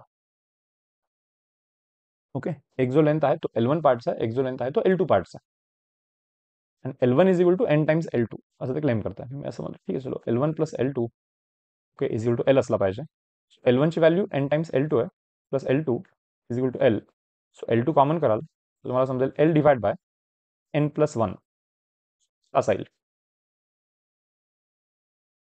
ओके आणि एल वनची लेंथ एल वन किती येईल पहा L one is equal to N times L टूची value जी आता आली आहे L divide by N plus one त्यांचं असं म्हणणं आहे force constant of a spring of length L one म्हणजे ही जी लेंथ आहे ना त्याचा स्प्रिंग कॉन्स्टंट किती असेल? मला सांगा लेंथ अर्धी केली तर स्प्रिंग कॉन्स्टंट डबल होतो। लेंथ वन थर्ड केली लेंथ वन थर्ड केली तर स्प्रिंग कॉन्स्टंट थ्री के होतो। लेंथ वन फोर्थ केली तर स्प्रिंग कॉन्स्टंट फोर के होतो। आणि आता इथे पाहाल तर length he N by N plus one times केलेली आहे तर spring constant N plus one by N times होईल। So N plus one by N K होईल स्प्रिंग कॉन्स्टंट एवढ्या पोर्शनचा एल वन लेंथवाला स्प्रिंग म्हणजे हा हा spring okay so as a spring constant हा N plus one divide by N times K होईल. L one plus L two is L दोघांचं ॲडिशन एल एल वनची कंडिशन दिली and L two question wise दिली plus L two is L addition करा like common करा L two is equal to L divide by N plus one बरोबर? आता L वनची जी व्हॅल्यू आहे एन टाइम्स एल टू आहे, मग एल टूची व्हॅल्यू इथे टाकली. सो त्याच्यावरून आपल्याला हे की लेंथ जो आहे एल वन तो N divide by N plus one times L होता। एल वन हा। Okay N by N plus one times L आणि आपल्याला माहिती की लेंथ जर का वन थर्ड केली तर स्प्रिंग कॉन्स्टंट ठीक आहे लेंथ वन फोर्थ केली तर spring constant four K. So length इथे N by N plus one times झाल्यामुळे स्प्रिंग कॉन्स्टंट हा N plus one by N times झाला पाहिजे। So option number C sorry option number B इथे आपला answer असला पाहिजे। ओके सेशनचं लास्ट क्वेश्चन आहे. क्वेश्चन थोडंसं चॅलेंजिंग आहे. हा. असं सिस्टम आहे. एक मास आहे. आणि या मासला तीन स्प्रिंग्स लावलेले आहेत अशा पद्धतीने. आता या मासला जर का आपण खाली ओढलं आणि सोडलं खाली ओढलं आणि सोडलं तर हा ऑसिलेट करत राहील. वरती खालती असं कंटिन्युअसली करत राहील. किंवा या मासला इकडे जरी ओढलं आणि सोडलं तरी असं ऑसिलेशन करत राहील. या डायरेक्शनमध्ये ओढलं आणि सोडलं तर असं ऑसिलेशन करत राहील. बट ठीक आहे आता सध्या मी याला खाली ओढतो त्या मासला मी खाली ओढतोय. आला थोडासा खाली आणि सोडला. तर हा कंटिन्युअसली ऑसिलेशन करत राहील. तर मग या ऑसिलेशनचा आपल्याला शोधायचा आहे time period time period of this oscillation okay ऑसिलेशनचा time period शोधण्याच्या प्रोसेसमध्ये ओके आपल्याला रिस्टोरिंग फोर्स सर्वात जास्त महत्त्वाचा असतो. आपण असं करायचं की लाईक थोडंसं त्याला ओढायचं आणि पाहायचं की त्याच्यावरती रिस्टोरिंग फोर्स किती ऍक्ट होतोय. सो पहिले तर मी एक काम करतो जो डायग्राम दिला आहे तो डायग्राम इथे ड्रॉ करतो. ओके इथे एक स्प्रिंग आहे. ओके अशा तीन स्प्रिंग्स त्यांनी क्वेश्चन क्वेश्चनमध्ये दिलेले आहेत. अशा तीन स्प्रिंग आहेत. आता मी या स्प्रिंगला थोड या मासला थोडंसं खाली ओढतो. किती डिस्टन्सने खाली ओढतो मी? एक्स डिस्टन्सने मी त्याला खाली ओढतोय. ओके आता एक्स डिस्टन्सने खाली ओढल्यानंतर हा स्प्रिंग तर एक्स डिस्टन्सनी वाढणारच ना? हा स्प्रिंग असा होईल. तर एक्स डिस्टन्सनी वाढल्यामुळे याच्यामध्ये रिस्टोरिंग फोर्स के एक्स एवढा डेव्हलप होणारच आहे. तर मेन मुद्दा आहे की या स्प्रिंगमध्ये काय होईल? रिस्टोरिंग फोर्स किती डेव्हलप होईल? तर हा स्प्रिंग जो आहे तर या स्प्रिंगचा पोझिशन आता असा होईल. ओके या स्प्रिंगचा पोझिशन असा होईल. ओके आता या पॉईंटवरतून मी एक परपेंडिक्युलर ड्रॉ करतो इथं अशा पद्धतीने. एक परपेंडिक्युलर ड्रॉ केलं. हा अँगल खूप जास्त कमी आहे. कारण की हे जे आपण खाली ओढलं आहे ना ते खूप जास्त ओढलेलं नसल्यामुळे हा अँगल कमी असणार आहे. म्हणजे समजा असा एक आर्क आहे. हा अँगल जर का खूप कमी असेल ऑलमोस्ट हे दोन्ही अँगल नाईन्टी नाईन्टी डिग्री असतील की नाही ninety plus ninety one eighty plus zero point zero zero one so overall one eighty addition होण्यासाठी अँगल खूप कमी असेल, तर हे दोन अँगल सेम असले पाहिजे. ऑलमोस्ट नाईन्टी असले पाहिजे. हे दोन अँगल सेम असल्यामुळे हा डायमेन्शन आणि हा डायमेन्शन हा सेम असतो. सो इथून मी एक परपेंडिक्युलर टाकतोय. या पोझिशन पासून एक परपेंडिक्युलर टाकतोय मी इथे. परपेंडिक्युलर टाकला, तर हा अँगल नाईन्टी आहे, तर ऑलमोस्ट हा पण अँगल नाईन्टी बिकॉज़ हा अँगल ऑलमोस्ट झिरो याचा अर्थ हा डायमेन्शन आणि हा जो डायमेन्शन आहे हा एक्झॅक्टली सेम आहे. ओके हे दोन डायमेन्शन्स कशा आहेत? एक्झॅक्टली सेम आहेत. याचा अर्थ हा जो डायमेन्शन आहे एवढ्या डायमेन्शननी हा वाला स्प्रिंग कंप्रेस झालेला आहे. कारण की आधी पुराणी लेंथ जी आहे ओरिजिनल पोझिशनवरती स्प्रिंगची ती एवढी होती. बरं तर एवढ्या लेंथवरतून आता ती एवढी लेंथ झाली एवढी झाली म्हणजे बेसिकली एवढी झाली. कारण की हा डायमेन्शन एवढा डायमेन्शन आणि हा वाला डायमेन्शन आपण सेम ट्रीट करतोय. म्हणजे हा पार्ट कमी झाला ना. सो हा आहे बेसिकली डिस्प्लेसमेंट ओके तेवढा पार्ट कमी झाल्यामुळे हा जो स्प्रिंग आहे, हा स्प्रिंग ओके स्प्रिंग कंप्रेस झाल्यामुळे स्प्रिंग रिस्टोलिंग फोर्स या डायरेक्शनमध्ये अप्लाय करेल अपोज करेल त्या डायरेक्शनमध्ये हा स्प्रिंग छोटा झालाय. या डायमेन्शनने तर डेफिनेटली स्प्रिंग अपोज करेल त्या डायरेक्शनमध्ये तर पहिले आपण हे पाहू, किती अमाऊंटनी छोटा झाला ओके स्प्रिंग हा किती अमाऊंटनी छोटा हे आपल्याला पहिले पाहायला लागेल. ओके हा अँगल वन ट्वेंटी हा अँगल वन ट्वेंटी हा अँगल वन ट्वेंटी तीन स्प्रिंग ओके ज्या पद्धतीने लावलेत equal equal अँगलवरती so one twenty one twenty one twenty तो वन ट्वेंटी असेल तर हा किती असेल? सिक्स्टी हे पहा, हा ओव्हरऑल वन ट्वेंटी असेल, तर हा तर अर्धाच आहे ना? सिक्स्टी आणि हा पण सिक्स्टी असला हा सिक्स्टी हा नाईन्टी आहे, तर हा असला पाहिजे? थर्टी हा डायमेन्शन पाहिजे थर्टी म्हणजे हा हायपो आहे. थर्टीचा अपोजिट जो साईड आहे, म्हणजे हा वाला साईड जो आपल्याला शोधायचा आहे that should be half of the hypotenuse म्हणजे एक्स आहे, तर हा साईड एक्स बाय टू असला पाहिजे. हा साईड किती असला पाहिजे? एक्स बाय टू याचा अर्थ स्प्रिंग एक्स बाय टू नी छोटी झालेली आहे. म्हणजे स्प्रिंग जो रिस्टोरिंग फोर्स लावत आहे तो के एक्स बाय टू एवढा रिस्टोरिंग फोर्स आहे स्प्रिंगचा के एक्स बाय टू हा आहे स्प्रिंगचा रिस्टोरिंग फोर्स ओके तर म्हटलं ठीक आहे restoring force K X by two आहे तर याचे दोन कॉम्पोनंट केले पाहिजे ॲक्च्युली ओके या के एक्स बाय टूचे दोन कॉम्पोनंट केले पाहिजे एक वरच्या डायरेक्शनमध्ये एक या डायरेक्शनमध्ये त्यासाठी हा अँगल माहिती असला पाहिजे किंवा त्यासाठी हा अँगल माहिती असला पाहिजे. हा वाला अँगल आपल्याला माहिती असायला हवा त्यासाठी तर के एक्स बाय टू हा या डायरेक्शनमधला फोर्स आहे. ओके त्याचे मी दोन कॉम्पोनंट करेन. त्या डायरेक्शनमध्ये हा अँगल आणि हा अँगल कसा शोधला जाऊ शकतो? याचा थोडासा विचार करू आपण आता. ओके काय करू शकतो आपण यार? मला वाटलं हा अँगल वन ट्वेंटी बरोबर? तर तो अँगल वन ट्वेंटी हा अँगल नाईन्टी आहे. हा वन ट्वेंटी असेल ओव्हरऑल तर हा अँगल सिक्स्टी असला पाहिजे हा. तो अँगल सिक्स्टी असेल तर हा अँगल थर्टी असला पाहिजे. बरोबर. आणि जर का हा अँगल थर्टी डिग्री असेल तर हा पण तर थर्टी डिग्री असला पाहिजे ना. तोच तर तो अँगल हे दोन्ही अँगल सेमच राहतात. तर याला पॅरल इथे ड्रॉ केला आणि याच डायरेक्शनमध्ये ही लाईन ड्रॉ केली मी तसं हा अँगल निग्लिजिबल आहे. म्हणून मी म्हणतोय की हा अँगल पण थर्टीन हा पण अँगल थर्टी कारण की हा अँगल असंही खूप जास्त नाही आहे कारण की हा डिस्प्लेसमेंट जो आहे तो खूप कमी असल्यामुळे हा अँगल ऑटोमॅटिकली कमीच असतो. सो बेसिकली हा अँगल थर्टी डिग्री असल्यामुळे या डायरेक्शनचा जो कॉम्पोनंट आहे that is K X by two cos thirty आणि व्हर्टिकल डायरेक्शनचा जो कॉम्पोनंट आहे that is K X by two sine thirty and sine thirty हा हाफ़ असतो so K X by four एवढा रिस्टोरिंग फोर्स वरच्या डायरेक्शनमध्ये लागत आहे.